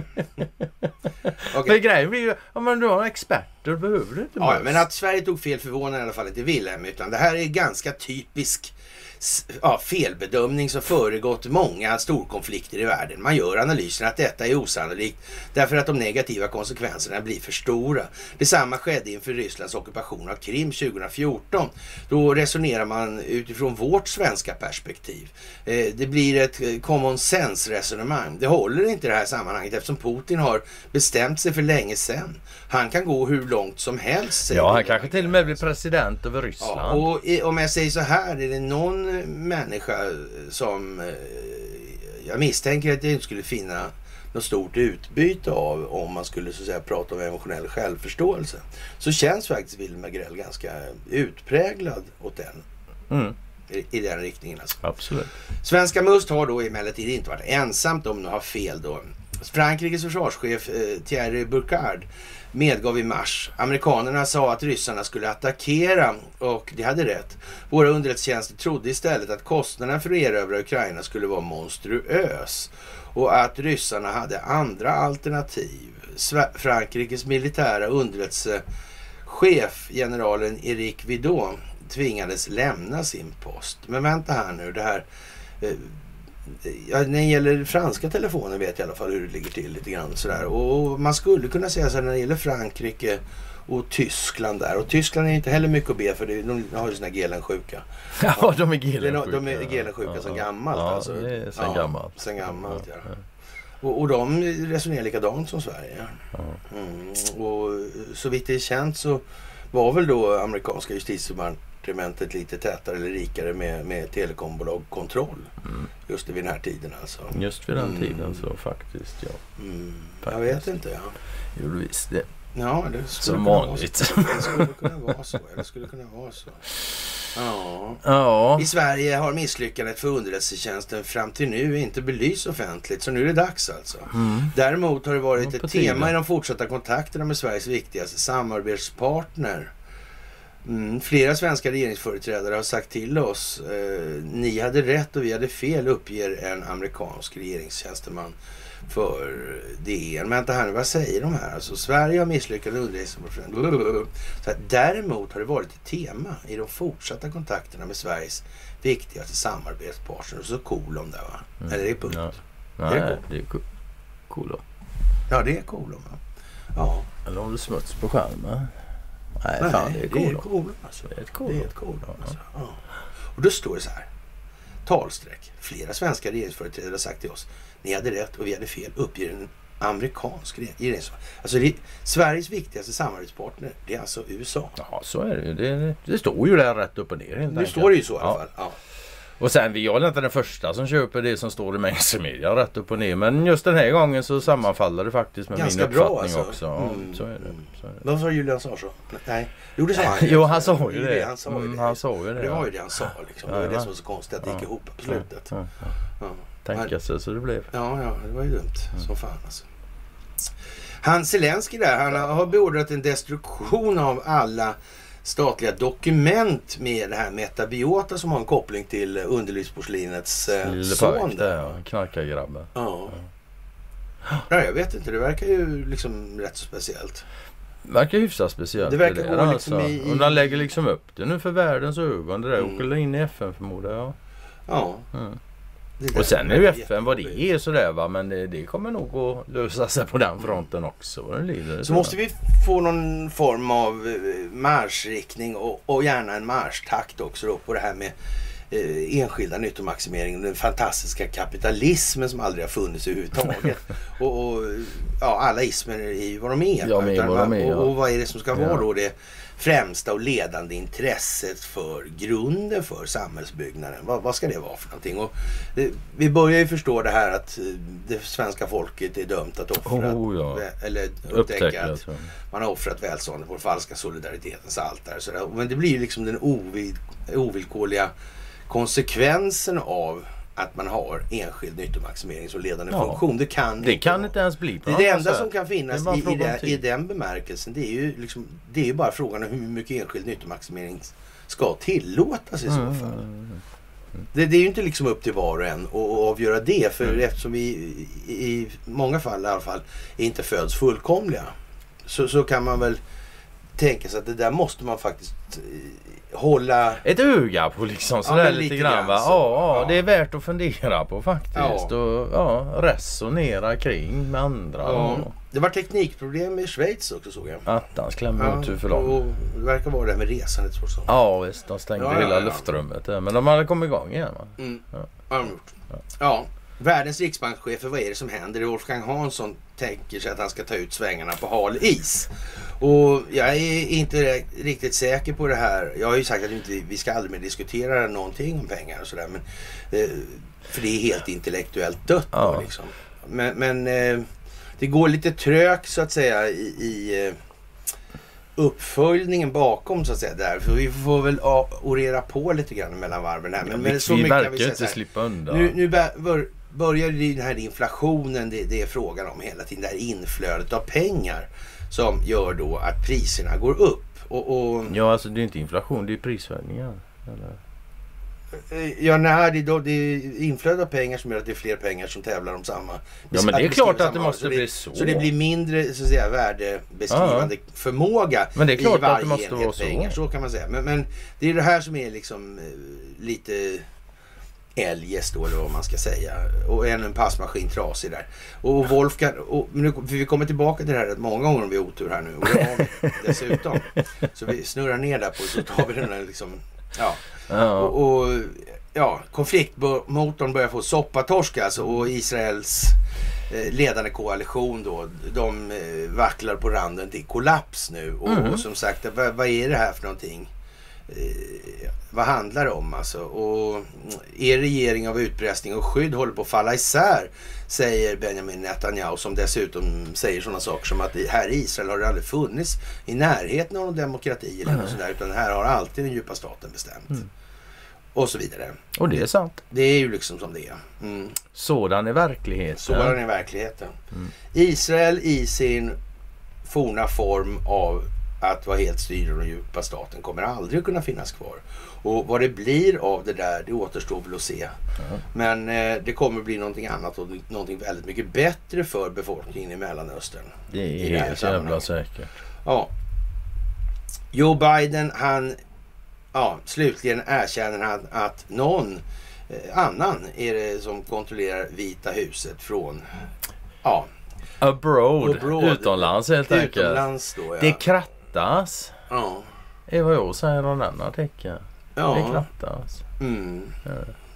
Sen att de skyller artikeln på att ja, men det är ju de som höjer bränslepriser och de som gör det och han kan inte göra så mycket åt det. Så. Ja, nej, men eh, Ja, ja. ja, Och det, så lägger vi till då den här australienska senatorn som... Ja, ja. Jag tycker fan det ser ut som en rullad i luta. ja, men det gör ju det. Ja, Det gör det faktiskt i svensk juridik också. Är dagens ja juridik fast det, kanske. det tar tid Och men det Högsta går. domstolen provar Lundintoppens yrkande om åtal ska avvisas. Och vi kan väl säga så här. Eh, om eh, det här avvisas nu så är det nog så att eh, det kommer bli mer påtagligt med annan jurisdiktion i Mm. så fallet. Det kan vi nog vara rätt säkra på. Ja, alltså, För det är inte meningen att det där ska gå klart. nej. Oavsett vad som sker med detta så, så kommer det ge konsekvenser. Det, Mm. det är helt jävla säkert. Vi kan väl se Eh. lite av vägvalet i det då. Ja. Och det är naturligtvis planerat för att vara så. Det finns optik. Oh, ja. Förberedd för de kommande sekvenserna ur de perspektiven också såklart. Som ska leda till mål. Det, vi kan bara konstatera att det sker då. Och då får vi så att säga analysera utifrån den delen då. Ryssland eh, förbannar höll jag på att säga. Men utvisar 29 brittiska journalister för att ha spridit falsk information. ja, då är vi tillbaka där vi började. Här med Ja. censur och media och... Mm, ja, det är konstigt. Ja. Det är ju lite konstigt. Och alltså jag, jag, är inte alltså jag är inte för att censurera och sparka ut och banna journalister och sådär också. Men eh, de får ju för fan göra vad de ska liksom. Ja, Det, det är ju så bara. ja, Det, så är det. och vad är det då de ska göra? De ska beskriva verkligheten så objektivt Mm. som möjligt. De kan aldrig beskriva den helt objektivt för de är inga objekt, de är subjekt. Så det, det är som det är. Va? Mm. Ja. Ja, och Turkiet är beredda att förhala ett svenskt NATO-inrede då för säkerhets skull sådär. I ett år. Ja. Och jag tror att om ett år... så- Zelenskyj vill ha JAS-plan också var det? Jajamän, ja, ja, jag tror det kommer sen. eh. Ja. Eller ja, det var inte Zelensky, det var några andra höga företrädare som uttryckte ja, så försvarsministrar och skit. Ja, det var, det var inte precis, Zelensky det- och rätt, rätt, rätt. rätt USA. Det var det inte. McDonalds har täckt över lågan med en penna. Och I eh, Ryssland ja. ja, det här med varumärken, de verkar inte så imponerade. Nej, Nej. det gör de inte. Och med all rätt. Ja, det är ju ett ett tankefoster. Ja, ja visst. Det Vadå är ju liksom? det. Ja. Ja men vad fan bara för att någon har ritat Musse Pigg en gång ska, ska, ska inte jag få rita Musse Pigg då om jag vill? Nej. Eller jag kanske får rita men jag får tjäna en spänn på honom för då måste jag Mm. dela med mig av den spannen liksom. Är han som ritar den först. Ja. Ja, ja. Ja, ja. Tidigare SAS-chef blir ny VD och koncernchef på Forex. Det verkar som de kokar ihop det här. Vad ska man säga? Optik. Du behöver inte ens kika det längre liksom. Nej. Inga förstoringsglas heller. De här är fläxt ut bara för, ja, för öppen publik alltså. För Ja. alla att se. Ja, alltså. Sen får vi se vad hon hittar på här. Hon behöver inte vara dålig alltså. Det vet man ju aldrig. Men Nej, det Får kan ju vara så ja. Ja, då kommer vi väl in på Hirschfeldt då Mm. lite grann sådär. Martin. Stensö har ringt Hirschfeldt. i, Ja. igen i det här då. Och, gjorde han bra. Ja, ja Mm. sådär. Det fungerar utmärkt. Mm. Och eh, det där med den där jävla utredningsdirektivet som vi har tjatat om Mm. alltså. De är faktiskt hyfsat jävla viktiga då. Mm. Och den stora frågan är ju då. Vem är det som skriver dem? Vem är det som dikterar dessa ä- ä- Det han, göm, det han gömmer sig bakom där, alltså, det har, har ju alltså en grund, alltså det finns en livmoder till det här. Alltså, vem är det? Vem är det som har gjort det här utredningsdirektivet? Och hur, hur förklarar man att man formulerar sig på det viset? Speciellt i ljuset av Uppdrag gransknings avslöjande som naturligtvis inte är något jävla avslöjande utan det är framtvingat att de ska agera i saken. Ja, jag undrar hur det där var egentligen. Mm. Kanske fanns någon gammal sån här politisk sakkunnig eller Ja men sån där som han i EU där till exempel. Han är ju en sån. Han har varit med i matchen. Det finns ju några sådana där Stockholmsbyråkrater som vi har pratat om. Så att säga. De svävar där lite bakom på tjänstemannanivå. Mm, mm, mm, Under evigheters evigheter. Jajamän, liksom. Den här jävla eh, riksdagsstyrelsedirektören. Direktören, ja till Är exempel. också Så en sån, ja, liksom. jajamän. Och det är ju och de det som är- i dem där alltså. Och det är ju det här som är det stora problemet med dagens demokrati och Stockholmsbyråkratin och allt. Så jag menar, det spelar ju fan ingen roll om du byter ut partiledare eller presidenter i USA eller vad som helst. När hela jävla den ma- stora massan denna i byråkratin, i administrationen är kvar. Ja, regeringskansli, det är några anställda va? Ja, det var som en mindre Överraskning. svensk stad liksom. Ja. Jag kommer inte ihåg, var det inte 5 000? 5 000? Ja det var det va? Ja, 5 5 000 pers. Det är ganska många människor som samlar upp dem på ett ställe. Så. Ja, jag fick det uppgifter från Åklagarmyndigheten så det var därför jag... Ja men då kan, vi inte, li- då kan vi inte lita fullt ut på det. Men det ligger nog där runt omkring. Ja, så. Ja. Mm. Men så. som sagt var det här, ja, men det är bra av Stensö. Ja. Absolut. Ja, ja. Och sen tyckte jag det var lite roligt också. Så när man lyssnar på det så, så säger ju eh, Hirschhauser, som på så här, Hirschfeldt eh, mer än en gång liksom att det där ska inte jag svara på. Men vad fan om inte det är du som ska svara på det du har utrett. Vem är det då? ja, det kan man fråga sig. Det kan man också fråga sig. Va? Ja, jag vet inte. Lite konstigt. Mycket, mycket märkligt faktiskt. Jaha. Eh, inflationsexperterna här nu då. Nu kommer det ju en skock med sådana här roliga. Ja, varorna har blivit billigare trots höga inflationen. Dyrare och dyrare känns det ofta som eh, när du handlar i inflationstider. Men det faktiskt eh, finns varor som inte har blivit, bill eller som har blivit billigare, åtminstone inte dyrare. Och vissa varor kan stå still under en längre tid men prischocken kan dröja till nästa år för andra. Hur, hur kommer det sig egentligen? Om det, bara, om det hela styrs av ett inflöde av pengar som i sin tur på något mystiskt sätt gör att priserna på varorna går upp alltså.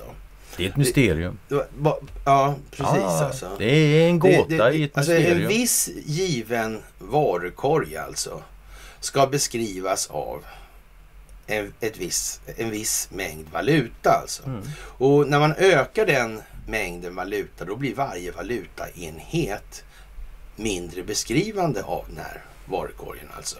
Mm. Den beskriver ett mindre värde. Mm. Det här är inte så jävla svårt. Men, men, men, men hur det här egentligen fungerar då liksom. Hur, vilka så att säga, krafter, incitament som skapar just den här prishöjningseffekten. Och det är väl då att man märker att eh, själva ekonomin går så bra så handlarna väljer att höja priserna. Mm. Det Ja, så. alltså, ja, det måste handla måste fan vad pengar de har nu. Nu Ja, kan jag höja nu priserna. kan höja priset. Nu har de råd att betala mer. De jävla Ja, fa- fast i verkligheten kan vi, kan, kan göra den analogin då, eller översättning kan vi säga att vi kan säga att bolånemarknaden, alltså, och det exemplet som Conny tog upp förra gången då, eh, med det här med att man, man kunde ju ha liksom en 15-20 procent i bolåneränta.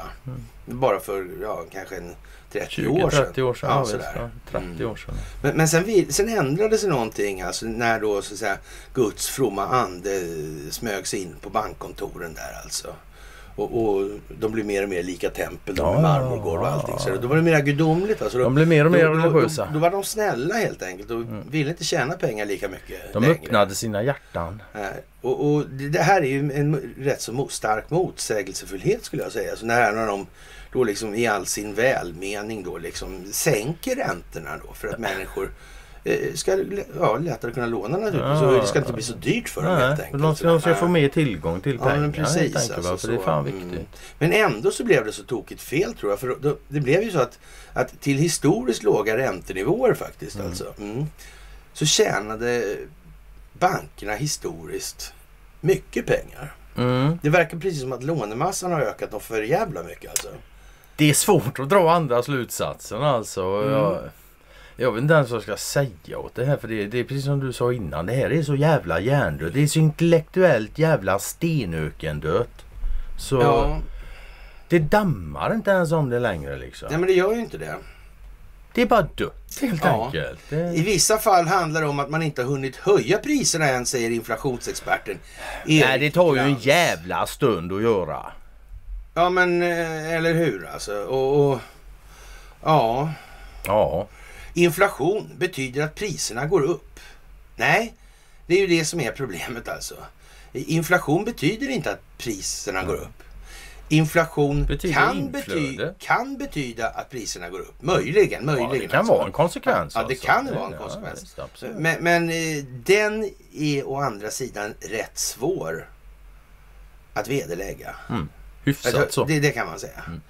Logiken i det där, nej jag vet inte. Jag vet inte faktiskt. Du, kan inte, du kan inte prata om monetärmekanik och logik i samma Nej, mening. nej. Ja, eh, alltså det här, inflation gör att våra pengar räcker till mindre. Okej, jaha. Men alla varor ökar inte lika mycket i pris. Erik Lantz, doktor i nationalekonomi och ansvarig för Konjunkturinstitutets inflationsprognoser, förklarar vad som ligger bakom skillnaderna. Han är alltså inflationsexpert. Ja. Jag är fan djupt oimponerad alltså. Ja, något helt Något fruktansvärt. helt vansinnigt. Det enda jag kan tänka mig som är värre det är väl kreditjurist ungefär. Det Ja, ja, men ja, sådär. Lille glans. Ja, ja, ja, ja. Det är, Det är olika drivkrafter som påverkar priserna. Nu är det framför allt de produkter som påverkas av energi och råvarupriser som stiger mest i pris. Eh, Det är inte prisökningar vi pratar om här utan det är inflation alltså. Inflödet av pengar, mängden valuta som ska beskrivas. Eller som ska beskriva en viss given varukorg alltså. Eller en viss given marknad eller en viss ekonomi alltså. Och varför håller de på med de här fulglidningarna tro? Vad kan det vara? Ja, det är i alla fall inte för att få I, vä- i, vänt, i väntan på att svenska folket ska få lite klarhet i skallen. Ja, ett exempel är läkemedel som minskat något i pris trots inflationen. Enligt Statistiska centralbyråns statistik. Och, och då har man inte fattat då när Statistiska centralbyrån som är då kanske världens äldsta statistiska centralbyrå och i Stockholm. Ja det är byråkratisk- världens äldsta. Ja, Kommer från någonting som heter tabellverket. Ja, Det kan ni fan ja. googla upp och kolla. Ja, Så- och, och det, de, den där, de där instanserna hade man inte alls för att ge opinionsbildningsmässig trovärdighet. Det, Och och folk det var aldrig för- skapat så ens. Ja. Nej. Och jag menar det här jävla tabellverket då som eh, Statistiska centralbyrån stammar och så. Nu är vi nere på 1700-talet. Ja, Det är gamla grejer det här alltså. Det har varit med ett tag. Det är nästan lika det är länge bra. som Stockholmsbyråkratin Ja. konstigt nog. ja, det är konstigt. Jättekonstigt. Jag vet inte. Det här är konstigt också. Eh, Ett exempel är läkemedel alltså, som kan ha minskat något i pris trots inflationen enligt Statistiska centralbyrån. Alltså. Ja, gamla. Ja, det kan delvis bero på att många läkemedel blir billigare när patenten går ut. Så fick han med det också. Ja. Ja. Och då blir frågan där, ja, vad fan ska vi då ha patent? Vi har patent för att det ska bli dyrare alltså. Är det, är det, är det vad han säger nu? Vi Ja, har patent för att det ska bli precis, dyrare. Om det nu alltså. blir billigare utan patent. ja, visst. Eller? Ja, det verkar som det. Ja, ja, ja, alltså, är, jag vet är, inte. alltså, patenten verkar som per funktionsmässig definition vara en, en fördyringspryl. Alltså. Ja, det, det, liksom är ju det själva- intrycket man får när man läser det här. Ja, Men alltså där. jag vet Ja. inte. Nya läkemedel istället mycket dyrare då, men den kostnaden står eh, regionerna för. Alkohol och tobak har också påverkats relativt lite hittills, men priserna kan komma att stiga. Det kan de nog göra. Ja, Systembolaget justerar priserna mer sällan framhåller Glans. heter Gland hette han nu helt plötsligt. Ja. Glans hette han innan. Men okej, Ja, nej, ja, Whatever. han sätter man i alla fall. Ja. Därtill har regeringen aviserat skattehöjningar på alkohol och tobak de närmsta åren. Böter och badhus står still.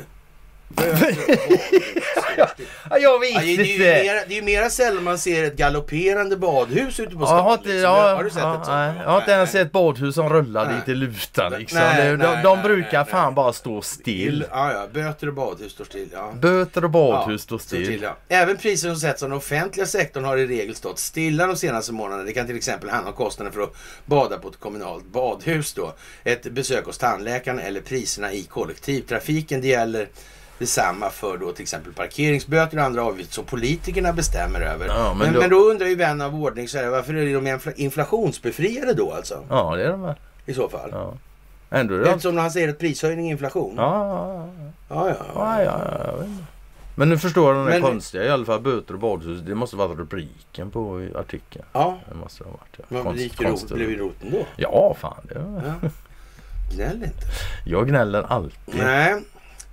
Eh, som sagt, andra kommer att förbli mer stillastående. Ett exempel är förskoleavgifter. Den baseras på föräldrarnas inkomstnivå som ju inte per automatik följer med inflationen. Grönsaker går upp och ner. Du har kanske sett eh, purjolök, blomkål eller slanggurka till reapris i mataffären. Men grönsakspriser varierar kraftigt från år till år, även i vanliga fall, bland annat beroende på hur skörden slår och vilka grödor jordbrukarna satsat på. Det kommer alltid finnas tillfällen då en del grönsaker sjunker i pris, trots att grönsaker och mat överlag är stig en stigande trend, säger Erik Glans, som med glans därmed förklarar sig själv som Fullständigt, ja, fullständigt otillräknelig i, i, i Ja, sådana här ja, sammanhang. ja, då. Ja, vilken stjärna. Men vad, Ja, vad men fan du kan... måste ju säga så här alltså. Det här med, de, man gnällde ju, här jävla idioter som var professorer i planekonomi. Vilka Mm, jävla sopor liksom. Mm, mm, Rätt åt dem att de blev gatsopare liksom. Mm. Ja, de blev ju inte ens det de stackarna. Men nu då, de här då? Ja, Vad är det rätt åt dem för? Nej, alltså inflationsexperter och kreditregister och ja, men igår tror jag väl då, då hade vi ju då fanns det artiklar som, som rekommenderade hur man skulle uppföra sig eller bete sig helt enkelt i inflationstider. Så, där. så jag menar det, det är ju liksom hög inflationsbeteendeexperter. Har vi också i det här landet. Det, Jaha. ja, ja, ja. Fan, här, här finns det experter i alla. Jag undrar om det finns några expertexperter. Ja, det kan jag. Det ska jag bli annars. Ja. Jag tänker bli expertexpert. Joe Biden han säger att de anställda på investmentbanker på Wall Street i USA skulle gå ut i strejk skulle det inte påverka den amerikanska ekonomin avsevärt alltså. Nej men vadå, så stäng ner skiten då. Ja, Ja. de producerar ju inget. Nej det gör de verkligen inte. Med ja, ofog. Ja. Kostnader producerar de. Och så har vi den här uh, liran Jörgen Hellman som vi har på omslaget alltså. Mm. Han som är sitt Dagens boende bilder. där. Ja, visst. ja. Han som bodde var i Vänersborgstrakten va. ja. Med trasiga fönster Mm. utan Och- och, och- utdömt och avlopp så och, skriver man sket då- i en laggård. Och, ja. En, en kolumnist här i Aftonbladet som skriver och gör sig lite rolig över det där. Han försöker i alla fall. Han försöker raljera lite grann. Mm. Det gick sådär Eh, Ja, det var väl liksom... De såg rätt likadana ut för det. Ja, Det det. slog mig också faktiskt. Den fysiska likheten mellan dem. Det... Ja, ja. Ja. Ja, ja. Så alltså. Ja, precis. Ja, ja, ja, ja. Så är det. Ja, det är lite udda faktiskt. Mm, hyfsat så. Ja, vi ska väl... eh, Ja, eh, vad ska man säga?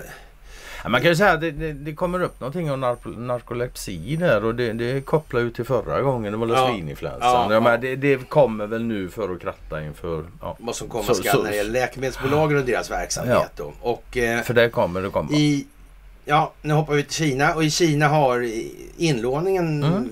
Blivit lite sådär. Alltså folk har pengarna på banken har, har liksom Ja, tre lokala banker har stängt in. De har stängt. fryst helt enkelt. Ja, de har fryst. De, har gjort. de är iskalla. De har efter kapitalstrukturreformen då bättre rätt till Ja, alla ja. tillgångar i banken inklusive all inlåning också. Mm. Så det, det kan man ju tänka på kanske då. Ja, för det är väl nationella regler va? Ja, ja, ja, ja, det på ja, internationellt visst. sätt. ja, men- så det får ju även stenhårda diktaturer börja sig för. Ja, ja, ja, ja, ja. Det går inte liksom att göra som de. Nej, nej, för Nej, helvete. nej, för helvete. Det, det förstår ju alla att det är Det någon annan som Det går bestämmer. inte. Jaha, och i en eh, fabrik i Iran Ja, så en har det, kemfabrik. Ja. kemfabrik så har det börjat brinna naturligtvis explodera. Mm. Och det är sånt som alltid kommer i de här tiderna som flammar upp som vi Mm. brukar säga då. Och eh, ja, vad ska vi säga om NATO och eh,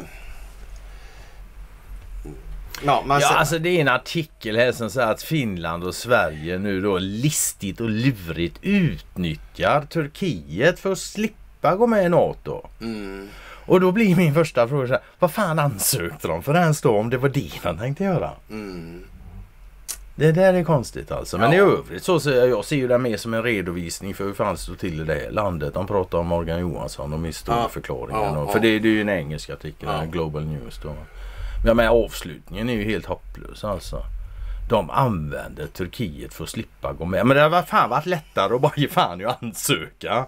Ja, ja, men det, vad ska man säga? Det, det är ju rätt ofta, alltså, mycket av de här grejerna som vi delar är ju så att säga för att människor ska liksom Ja, ja, det är optik. reagera eller tänka efter här nu. Vad fan, det där är väl ändå inte rimligt. Vi håller, håller det här, vi, ska, vi vet vad vi ska. Mm. Vi har den fördelen vi Faktiskt. kan tala om från början vad det här är för någonting utifrån vi vet var vi befinner oss. Och, och vad som måste åtgärdas för att världen ska så att säga, bli en bättre plats att leva på. Mm. Det, det har ju vi ett plus gentemot andra då. Och, och då ska man kanske inte hemfalla åt just det här då. Att liksom på här på ett listigt sätt då. Man kan ju tänka sig då att då är det ju i sådana fall tving, för, blivit framtvingat den här ansökan. För Och att, det håller jag inte för ja, otroligt. Nej men det, så, kan Så, det vara. ja, det- Absolut så.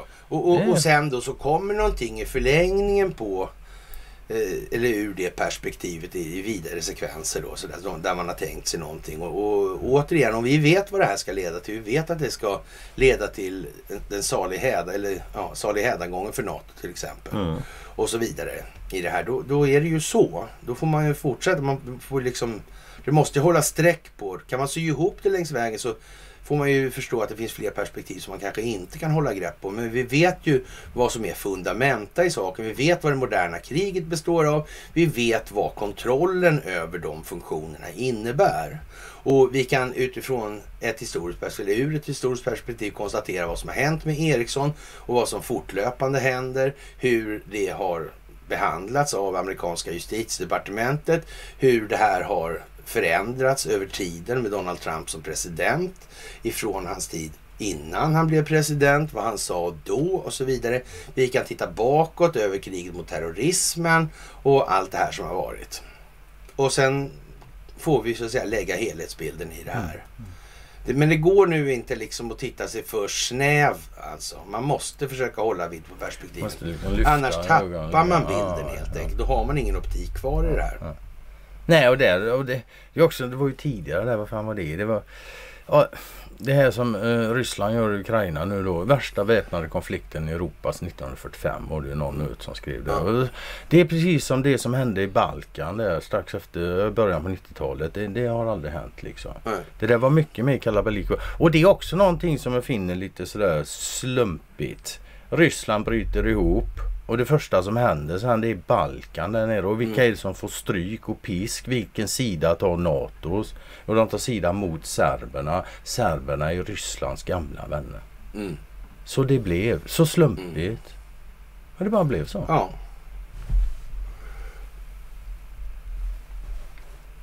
Ja, vad ska vi säga?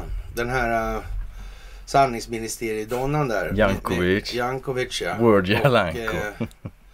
ja. Hon tycker att Consortium News är ett gäng användbara idi- nyttiga idioter alltså. Och Mm. eh, ja, det, det ja. Kortlivade chefen för Department of Homeland Security styrelse för desinformation eh, säger då att Consortium News inte finansieras av en främmande makt utan istället är nyttiga idioter alltså. Eh, ja, och hon fick i alla fall hälften rätt och de är Ja. helt finansierade av läsarna. Det. Och eh, ja, men hon borde kanske fråga sig då vem den riktiga nyttiga idioten är. Och hon och hennes- anhang då i den här industrin av privata desinformationskrigare är själva leverantörer av desinformation som matas till dem av regeringar som vill genomdriva en enda, eller en sanning då, den här som Jenny Norberg pratade om. Här. Ja, och, och krossa avvikande åsikter och jag vet inte. Nej, alltså det är ju bara vad det gäller. Den här då, fröken Weird Jankovic här alltså. Ja. An, antingen så Antingen så förstår hon mycket väl vad hon gör och så gör hon det med ett leende på läpparna. Hon vet Ja. det ska bli. Eller så är hon ju helt jävla efterbliven och projicerar så liknar Ja. ingenting. Va? Det, Skulle man kunna säga. mm. Och Putin måste öppna hamnarna här annars blir det svält och elände Ja, över ja, hela jorden. Det är hans fel det också. Ja, det är klart det. Och den som äter palsternackor han går inte av för hack och morotselleri och sånt är heller inte illa. Ja, men är man björn då äter man älg. Och är man svensk och får se det då blir man helt upprörd och tycker att va? Ja, då, då blir man helt eh, upprörd och tycker att någon ska mata björnen med något ja, annat. krö, än, krönika. Och då ska man säga den som börjar med de här fina, vad, vad ska man säga, eh, grönsaks... Koman, eller vad ska jag säga. nu ska du inte myra. Ja, ja, ja, ja, visst alltså. Varför filma detta barbariska istället för att hjälpa björnen att äta något annat? Eh, rubrik på SVT. Kanske för att naturen fungerar på det sättet. Ja, det är Vad därför det sägs finns det? näringskedjor kanske, jag vet inte. Svårt Men att om- säga. ja. Nej men ge mig en jävla Men det är rättvisa som Disneyvärld. man utplånar allt liv och ingenting finns kvar. Så. Ja, för då kan faktiskt inget annat äta något annat. Så, Nej, nej, nej, så precis, alltså. Jag vill leva i en Disneyfilm där björnarna talar och liksom har en rolig hatt på huvudet och alla lever lyckliga i, Ja. alla sina dagar. Åh vad Ja, roligt, ja. alla ska med och ingen får bli skadad. Ja, Ja, ja. det hade varit trevligt men det lär inte bli så. Stoltenberg tycker i alla fall att NATO stärker sin militära närvaro i öst nu. Det är nästa drag mot Rysslands aggression. Alltså är att förstärka närvaron i östra Europa samt mer utrustning och ammunition på plats för att snabbt skicka in förstärkning. Säger han då. Ja, det är ju sånt som går hem i ja, Kreml. vi, vi vill också ha soldater i förhöjd beredskap som snabbt kan komma till undsättning säger han här nu. Mm. Vad är- Vad är det för några förband? Egentligen. Jag vet inte. Det där kan du mer än vad jag. Det enda Ja, jag jag- vet jag- liksom jag- när jag jag läser förstår detta det är att jag, jag förstår ju liksom att borta i Kreml och, och Moskva där nu där jublas det i höga sky. Det tycker de naturligtvis. Ja. Yeah. Det gör de faktiskt på sätt och vis för eftersom det det är en de del av, av, Mm. av spelet. Då, va? Men vi, vi kan väl säga så, det är inte så svårt att förutse Rysslands reaktion på det uttalandet. Det är det faktiskt inte. Nej, nej. Den är ganska hyfsat given. Och eh, som sagt, Turkiets roll är avgörande eller i alla fall jävligt betydande i de här sammanhangen. Mm. Jaha, och ja, Ja. Ukrainas vice försvarsminister Så vill ha svenska JAS-plan ja. Och vad ska vi säga? Det är väldigt enkel Vi kan, vi, ja, vi kan säga att Anders Österberg, han, jag har för mig han var socialdemokrat och han är alltså en svensk riksdagsman. Han är den första riksdagsman, svenskar då, som besöker kriget i Ukraina och han säger att det är en väldigt enkel konflikt. Det handlar om en aggressiv stormakt som inte respekterar en annan stats suveränitet. Ja. Ja, jag gillar enkla beskrivningar. Fan, det, det är Ja. bra. Synd att den är lite fel bara, men det är ju en annan sak. Men den var enkel, det håller jag med om. Ja, Mm, den var enkel. det verkar ju liksom rätt så bra. Och nu vill de ha JAS-plan. Nu vill de ha JAS-plan. Ja, Vill de ha och, och faktiskt. eftersom det är så här i hela system man pratar om liksom så, Mm. ja. Men det är lite roligt, men det står så här den här vice försvarsministern Alexander Polishuk. Politruk, nästan Polishuk. ja Först, hans första kommentar när vi slagit oss ner runt bordet var att han just har talat med chefen för Saab som har många vapensystem som står på Ukrainas önskelista. Överst på den listan står det svenska stridsflygplanen JAS 39 Gripen. ja, Nej men då är det bara att skicka över några stycken. ja. Eh, Vi lär ju få skicka med någon pilot eller två också förmodar jag. För inte, det talar ja det är 20 väl en del underhållssystem också. Ja det också. Ja det tror jag nog va. Jag Ja. menar, du, du, det är ju inte bara att skjutsa dit de kärrorna så kommer en ukrainare hoppar i och bara svingar sig upp i luften Nej, och bara bombar sönder hela nej. Ryssland. Nej, men det, så nej, det vara alltså. så fungerar det inte. Ja, och lista därför får vi veta allt mindre om kriget i Ukraina. Ja, vi Så bör jävla vi, pinsamt vi, vi ska inte få veta så mycket om kriget i Ukraina då. Ja. Så det innebär att den verklighet som gäller för kriget i Ukraina är ingenting. Den är inte längre presentabel. Den är inte delgivningsbar för vårt vidkommande. Alltså. Så är det. det. Det, är det enkla svaret på det Mm. här. Den börjar dividera för mycket Ja. från det som var sagt innan. Ja, nu, nu går det inte Vad ska längre. en stackars flicka säga alltså? Mm. Ja, därför vet vi allt mindre om kriget i Ukraina. Det, är, fan, det här är ju som... Nu, nu Mm. Men- känns det snart som att man ska sitta och vara spydig mot... Alltså, så Ja men då, då ska jag vara snäll här nu då. För jag lyssnar igenom. Det är ju någon snubbe där från FOI som han pratar några minuter. Så han avslutar faktiskt allting med att jag kommer inte ihåg ordagrant så men kontentan blev liksom att det kanske inte var det bästa sättet att få verklighetsinformationen då att hålla sig till media och sånt där. För det Alltså, jaha, det Ja, faktiskt. Ja, ja, ja, inte rätt upp och ner så men Nej. är man välvillig vilket jag är så kan man lätt tolka det som eh, och det är ju svårt att säga emot det. Det kanske inte var det bästa sättet att hålla sig välinformerad om omvärldsutvecklingen faktiskt. Och följa SVT och Aftonbladet och DN och ja. Det kan ju vara så. ja, jag vet Men jag, nej, nej. faktiskt. Ja. Planned Parenthood raderar Margaret Sangers namn från en klinik. ja, som om och- det skulle hjälpa. Ja, som sagt, det hjälper Det är lite ingenting. sent påtänkt va? Alla, Ja. alla känner till det jävla namnet nu. I alla fall alla som håller Ja. på med det. Det Ja, det där verkar lite dumt alltså. Och så har vi Hillary grindvakten då när prisökning är inflation. Fem punkter om inflation av Andreas Cervenka. Och Ja och nu är det så dåligt så han får skriva det rätt upp och ner i början på artikeln. Där liksom prisökning är Inflation, helt ja, enkelt. Det, är, det står rätt upp och ner bara. Så bara nej, det är det inte. Varför ens tjata om inflation om det bara är prisökning? Varför inte bara säga ja. att det är prisökning? Ja, ja, exakt. Ja. Ja. Varför har vi två ord som beskriver samma sak? Det tycker jag vi ska ta bort den ena. För det Varför blir... säger de inflation när det är prisökning? Ja. Om det är det. Ja, jag Nej, men det är det här nu liksom. Och det Mm. här...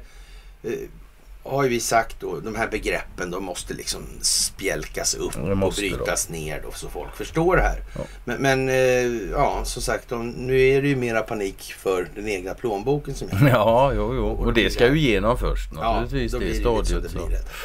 Visst fan. För jag menar, det är ju det. Är inte den ovanligaste frågan för människor som börjar fatta att fan det här ser ju jävla sopigt ut det ekonomiska systemet. Vad ska jag göra med mina pengar? Ja, men så. Ja.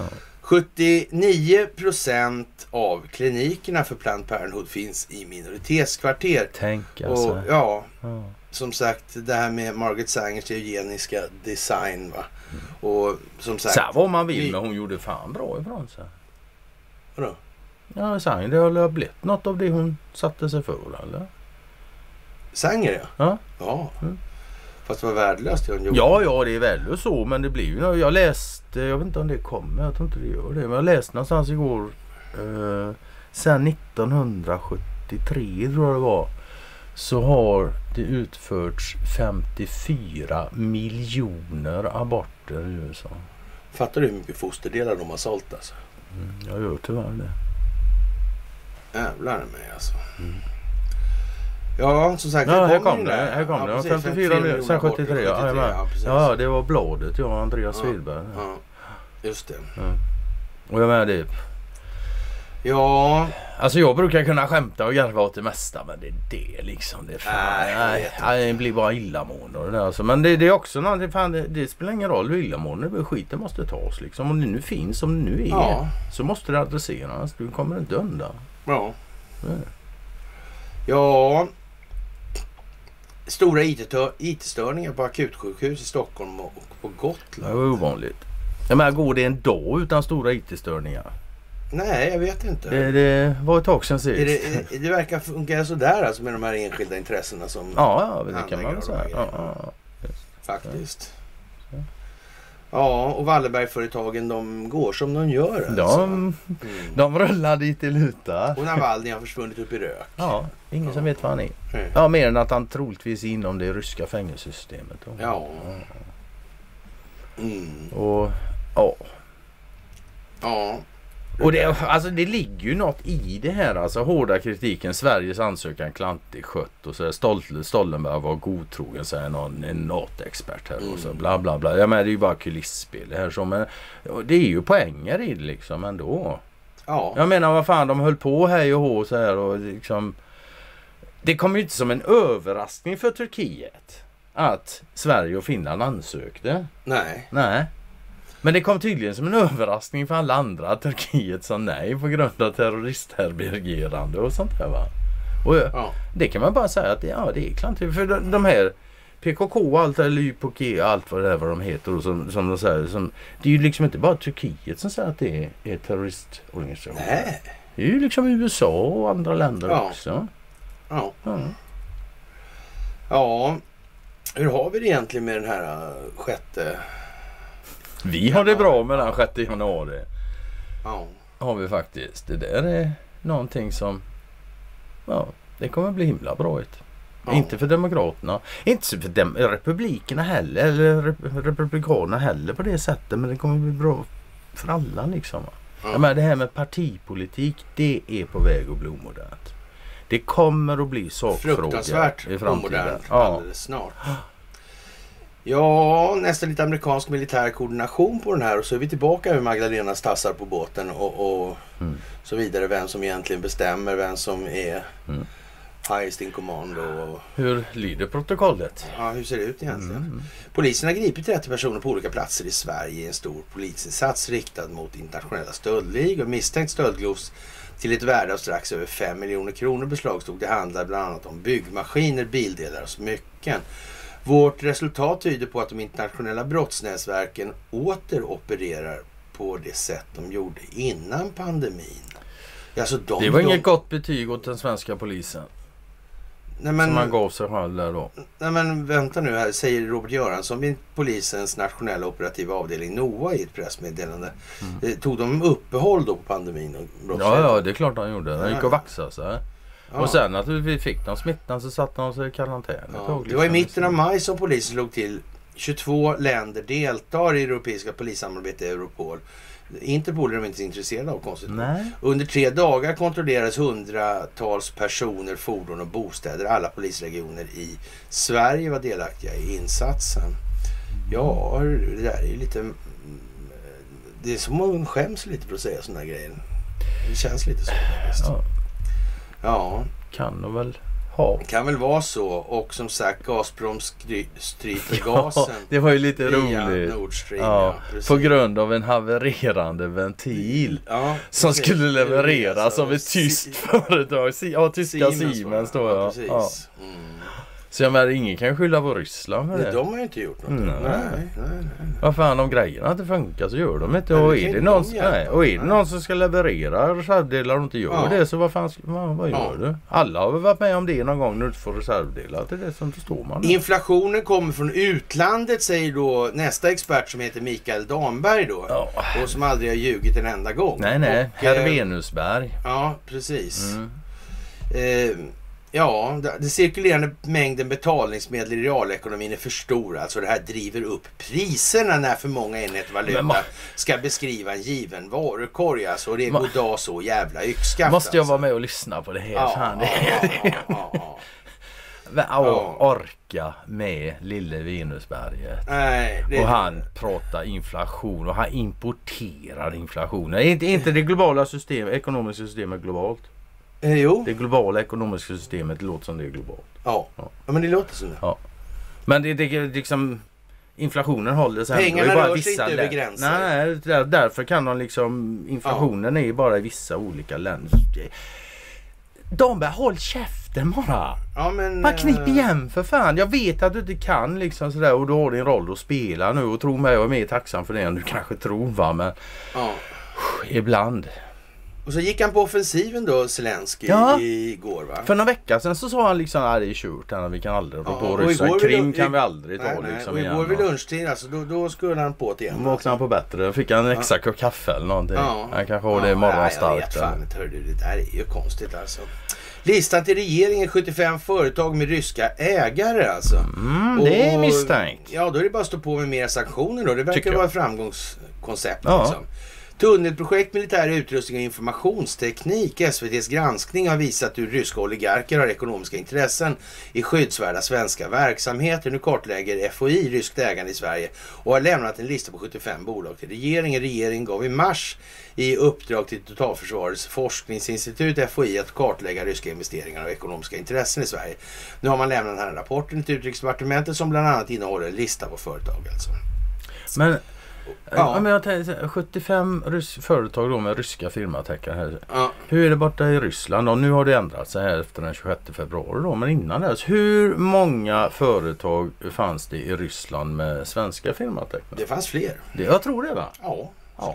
Och ändå är de många fler människor där borta men ändå mindre här och vi Jag är får säga så färre här. vi har mer vi har hittat 75 företag med en omsättning på över en miljon kronor.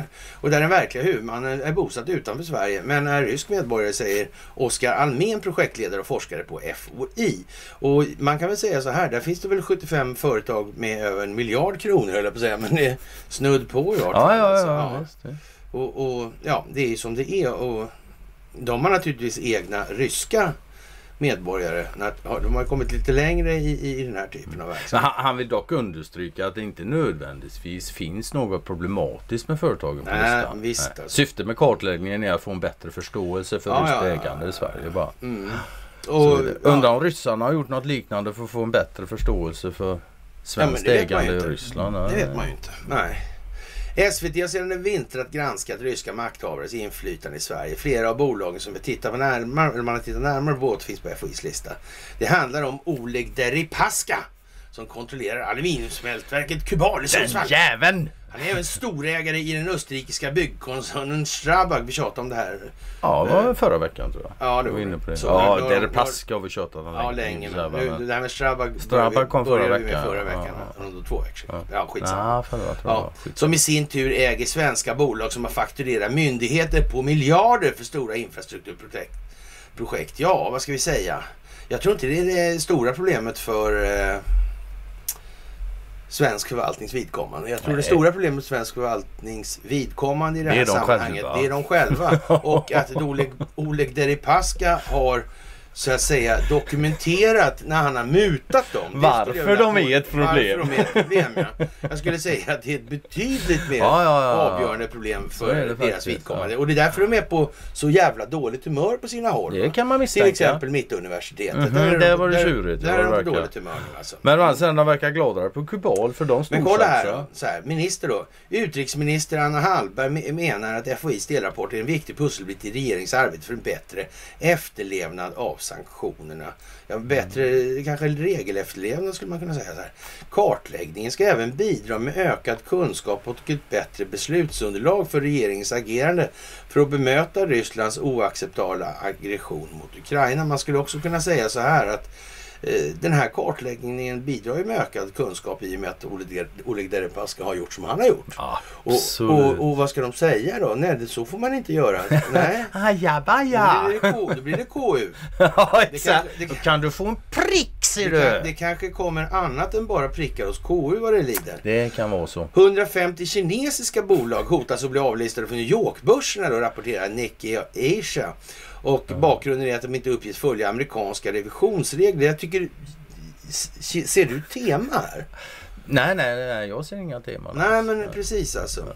Och, Nej, och på SECs lista fanns så sent som i fredags runt 60 procent av alla kinesiska bolag som handlas i USA. Och den listan lär växa enligt tidningens uppgifter. Kongressen vill att bolagen avnoteras så tidigt som 2023 enligt lagstiftningen.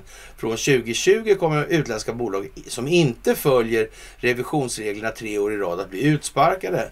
Kina från börsen, alltså Kina har i åratal vägrat men den senaste tiden har samtal mellan länderna respektive myndigheter satt fart. En kinesisk myndighetskälla uppger att ett avtal inte är alltför avlägset. Och ja, Jack Ma finns på bild helt enkelt. Gör han. Han Fan, fick illustrera det där Ja, faktiskt. ja, Det men fick han göra. Så, Ja, kan, ja. så kan det gå. Mm. Så kan det gå. Ja, som sagt, ett hån mot rättvisan tycker Trump Ja, att tycker jag det är. Och det, det, men Och det är meningen det ska är- vara det, är det ju också, Inte, så. Egentligen. Faktiskt. Utan det är ju faktiskt ett sundhetstecken allt som Mm. sker nu. Det har ju inte skett tidigare för då Nej, hade vi inte befunnit oss där Nej, vi befinner oss. Och, och, och därför så vet inte jag, men det kanske man inte ska dra för stora växlar på än. Man måste nog få folk att vakna lite först. Ja, Innan man tar till den. Visst. Värst. Men jag menar, det, ja, du får ändå hålla med Trump där. Det är ett rättvisan. Varför är det det? Är det för att det är designat för att vara det? För att folk ska Ja, se att det är precis, ett alltså. Så fan, det, de börjar göra något annat än vad de har gjort tidigare. Ja. Boris Johnson får, ny, får en egen bakelse i Ukraina och det är viktigt att veta. Alltså, Mm, ja. en, en Ja, det, alltså, det, var, det var först efter jag fick reda på det som jag sov gott den natten. Sen. Ja. Och sen igår morse då så vaknade vi till då att eh, en rysk by alltså har blivit påskjuten med artilleri Mm. från Ukraina. Mm. Och det har man ju lovat. att Det där ska vi inte ta. Det lovar de att de inte så skulle lätt på göra. alltså. Ja. Ja, dels har de sagt att de inte tänkt ta lätt på det och sen har Ukraina lovat att inte göra Mm. så. Det Ja. lovar de Biden. Ja, det ju För man kan inte lita på folk vad det verkar alltså. Nej, precis. Jävla alltså. dåligt det där. Ja. Ja, och polackerna vill ha tillbaka sina vapen fast de kan ju ta andra vapen istället då från någon annan. Ja. Men det- var okej med begagnat om de bara fick kolla att det var schysst först. Ja, Det kan bli billigt det där. det kan bli billigt det där ja. Men jag, jag förmodar de nu bara gett bort sina vapen till Ukraina. Då måste de väl få nya vapen någon annan. Så, Ja, för det ska vara en solidarisk Ja, insats, eller hur? Eller så får de väl fan lugna sig till Ukraina är klara så lämnar Ukraina kvar tillbaks det som blev över. Ja, Ja, det är en variant. Ja så Och vem vet? de har sparkat ut Ryssland och vunnit. Ja exakt, ja exakt. Exakt. Mm. Ja, Så fixar ju det sig, ja. tycker jag. Och... så, ja, som sagt, temat är rätt givet för utvecklingen och den svenska befolkningens upplevda behov av att vara med i NATO ja. Eh, skriver då inledningsvis här. Och, och, och det kan man väl säga är, ganska så väl beskrivande. För en rysk tv-kanal anser nämligen att eh, man har rätt då från rysk sida att försvara ryska ättlingar på Gotland eftersom man var där vid storleksordningen 1808 va? Ja, det är inte så jävla Ja, länge det. sedan faktiskt. Det, det är som att eh, historiesynen börjar gå på steroider, säger Carolina Wendel Palin på Totalförsvarets forskningsinstitut. Hur många är de på det där institutet? Det kan man undra då, Oj, för ja. det är fan nya jävla ansikten och namn hela tiden. Det är kanske Ja. de som utav de 5000 Det, är- det är inte bara han stu, eller, eh, Stugepissi där fortfarande. Nej, nej, han har vi inte sett på några dagar nu. Nej, Han han, kanske- det han han kanske- kanske... där börjar påtala släkten. Han Ja. kanske har åkt på kopp. Som sagt, det är som att historiesynen börjar gå på steroider. På den ryska statskontrollerade tv-kanalen Ren-TV ja. sajt finns en artikel med rubriken Ursäkta. Ryska medborgare underlydande går med i NATO. Något som Gotlands Allehanda har berättat om tidigare. Artikeln på tv-sajten har också spridits och publicerats på andra ryska webbplatser. Artikelförfattaren på Ren-TV då skriver om den svenska upprustningen på, av Gotland och eh, den har som officiellt mål att säkra den euroatlantiska säkerheten i Östersjön. Samtidigt häva- häf- hänvisar västerländska medier till att Ryssland kan göra anspråk på ön i Östersjön. Det mest intressanta att Moskva verkligen skulle ha skäl för sådana anspråk. Senare i artikeln beskrivs att de ryska ättlingarna på Gotland funnits där sedan den ryska invasionen av ön 1808. Då. Alltså vi, vi gjorde ju om så att säga vår konst, ingen konstitution men så, Nej. vi tog bort av kungen i sista makten Året 1809 efter, ja. och införde högsta domstolen där och sen har det ju varit så att säga Investor-kontrollerat mer eller mindre. Mm. Och konstigt nog parallellt borta på den andra sidan Atlanten. kommer Ja. högsta domstolen med. Ja, precis. Alltså. Jävla Jävla, jävla grejer hela Ja, tiden. jävla alltså. grejer alltså. Precis. Och, eh, och att den ryska lagen ger utrymme för att försvara tidigare medborgare i det ryska imperiet. Ja, det, det är som att historiesynen börjar gå på steroider verkligen alltså. Ja, man bör inte ta den här artikeln på alltför stor, stort allvar. Alltså det, det är mycket besynnerligt sätt att argumentera. Och, eh, Ja, det håller jag med om. ja, Mm. jag vet inte. Så varför gör de så? Ja, varför gör de så här? Bara för att göra bort sig inför hela världen eller tänker de något annat? Ja, nej, jag vet vill inte. de bara alltså, roa verkar, ja, oss? men det verkar eller? ju lite sådär alltså. Ja. Ja, ja, ja, ja. Det där är lite konstigt. Och uppror bubblar i Estland. Folk eh, blir jättearga på de här människorna som... Eh, Säg att ryssarna är snälla. ja, alltså jättemånga människor i Estland är ju ryssar då. då. Och, och innan kriget trodde jag att vi, ryssar var mer integrerade i det e- estniska samhället. Men nu har jag insett att det är bara en illusion. Tyvärr, många tittar bara på rysk tv och har gjort så i decennier. Säger, eh, ja, Senja Volonskaja. Och, och, Ba, ba, bara för att vi... Nej, men gå, gå tillbaks. Mm. Bara för att vi sa som det var. Att Ryssland invaderat Ukraina och sedan skildrade de ryska övergreppen säger hon och visar runt i den toppmoderna tv-studio som den ryska redaktionen delar med sina estniskspråkiga kollegor. De, det var vad hon sa då och då ringde massa ryssar in och sa ni ljuger. Eh, ja, det gjorde de faktiskt. De ljug. Ja, Så. Ja. Men det är väl som du skriver där då. Det är för fan bara festländerna bara rensa ut alla jävla ryssar då. Men börja med etnisk rensning då. Ja visst. Mm. Mm. Så får vi se då vad Putin hittar på. Ja. Det Ja. kan vara en bra grej. Mm. En bra start liksom på en bra dag. Och sen är ju hela alternativet och det är gosedjur och det är Elina nio år och det är liksom man bara... Och med, med det sagt så... Det är inget snack om saker när folk har dött och hej och det är till och med barn och sånt. Det är det, det liksom va.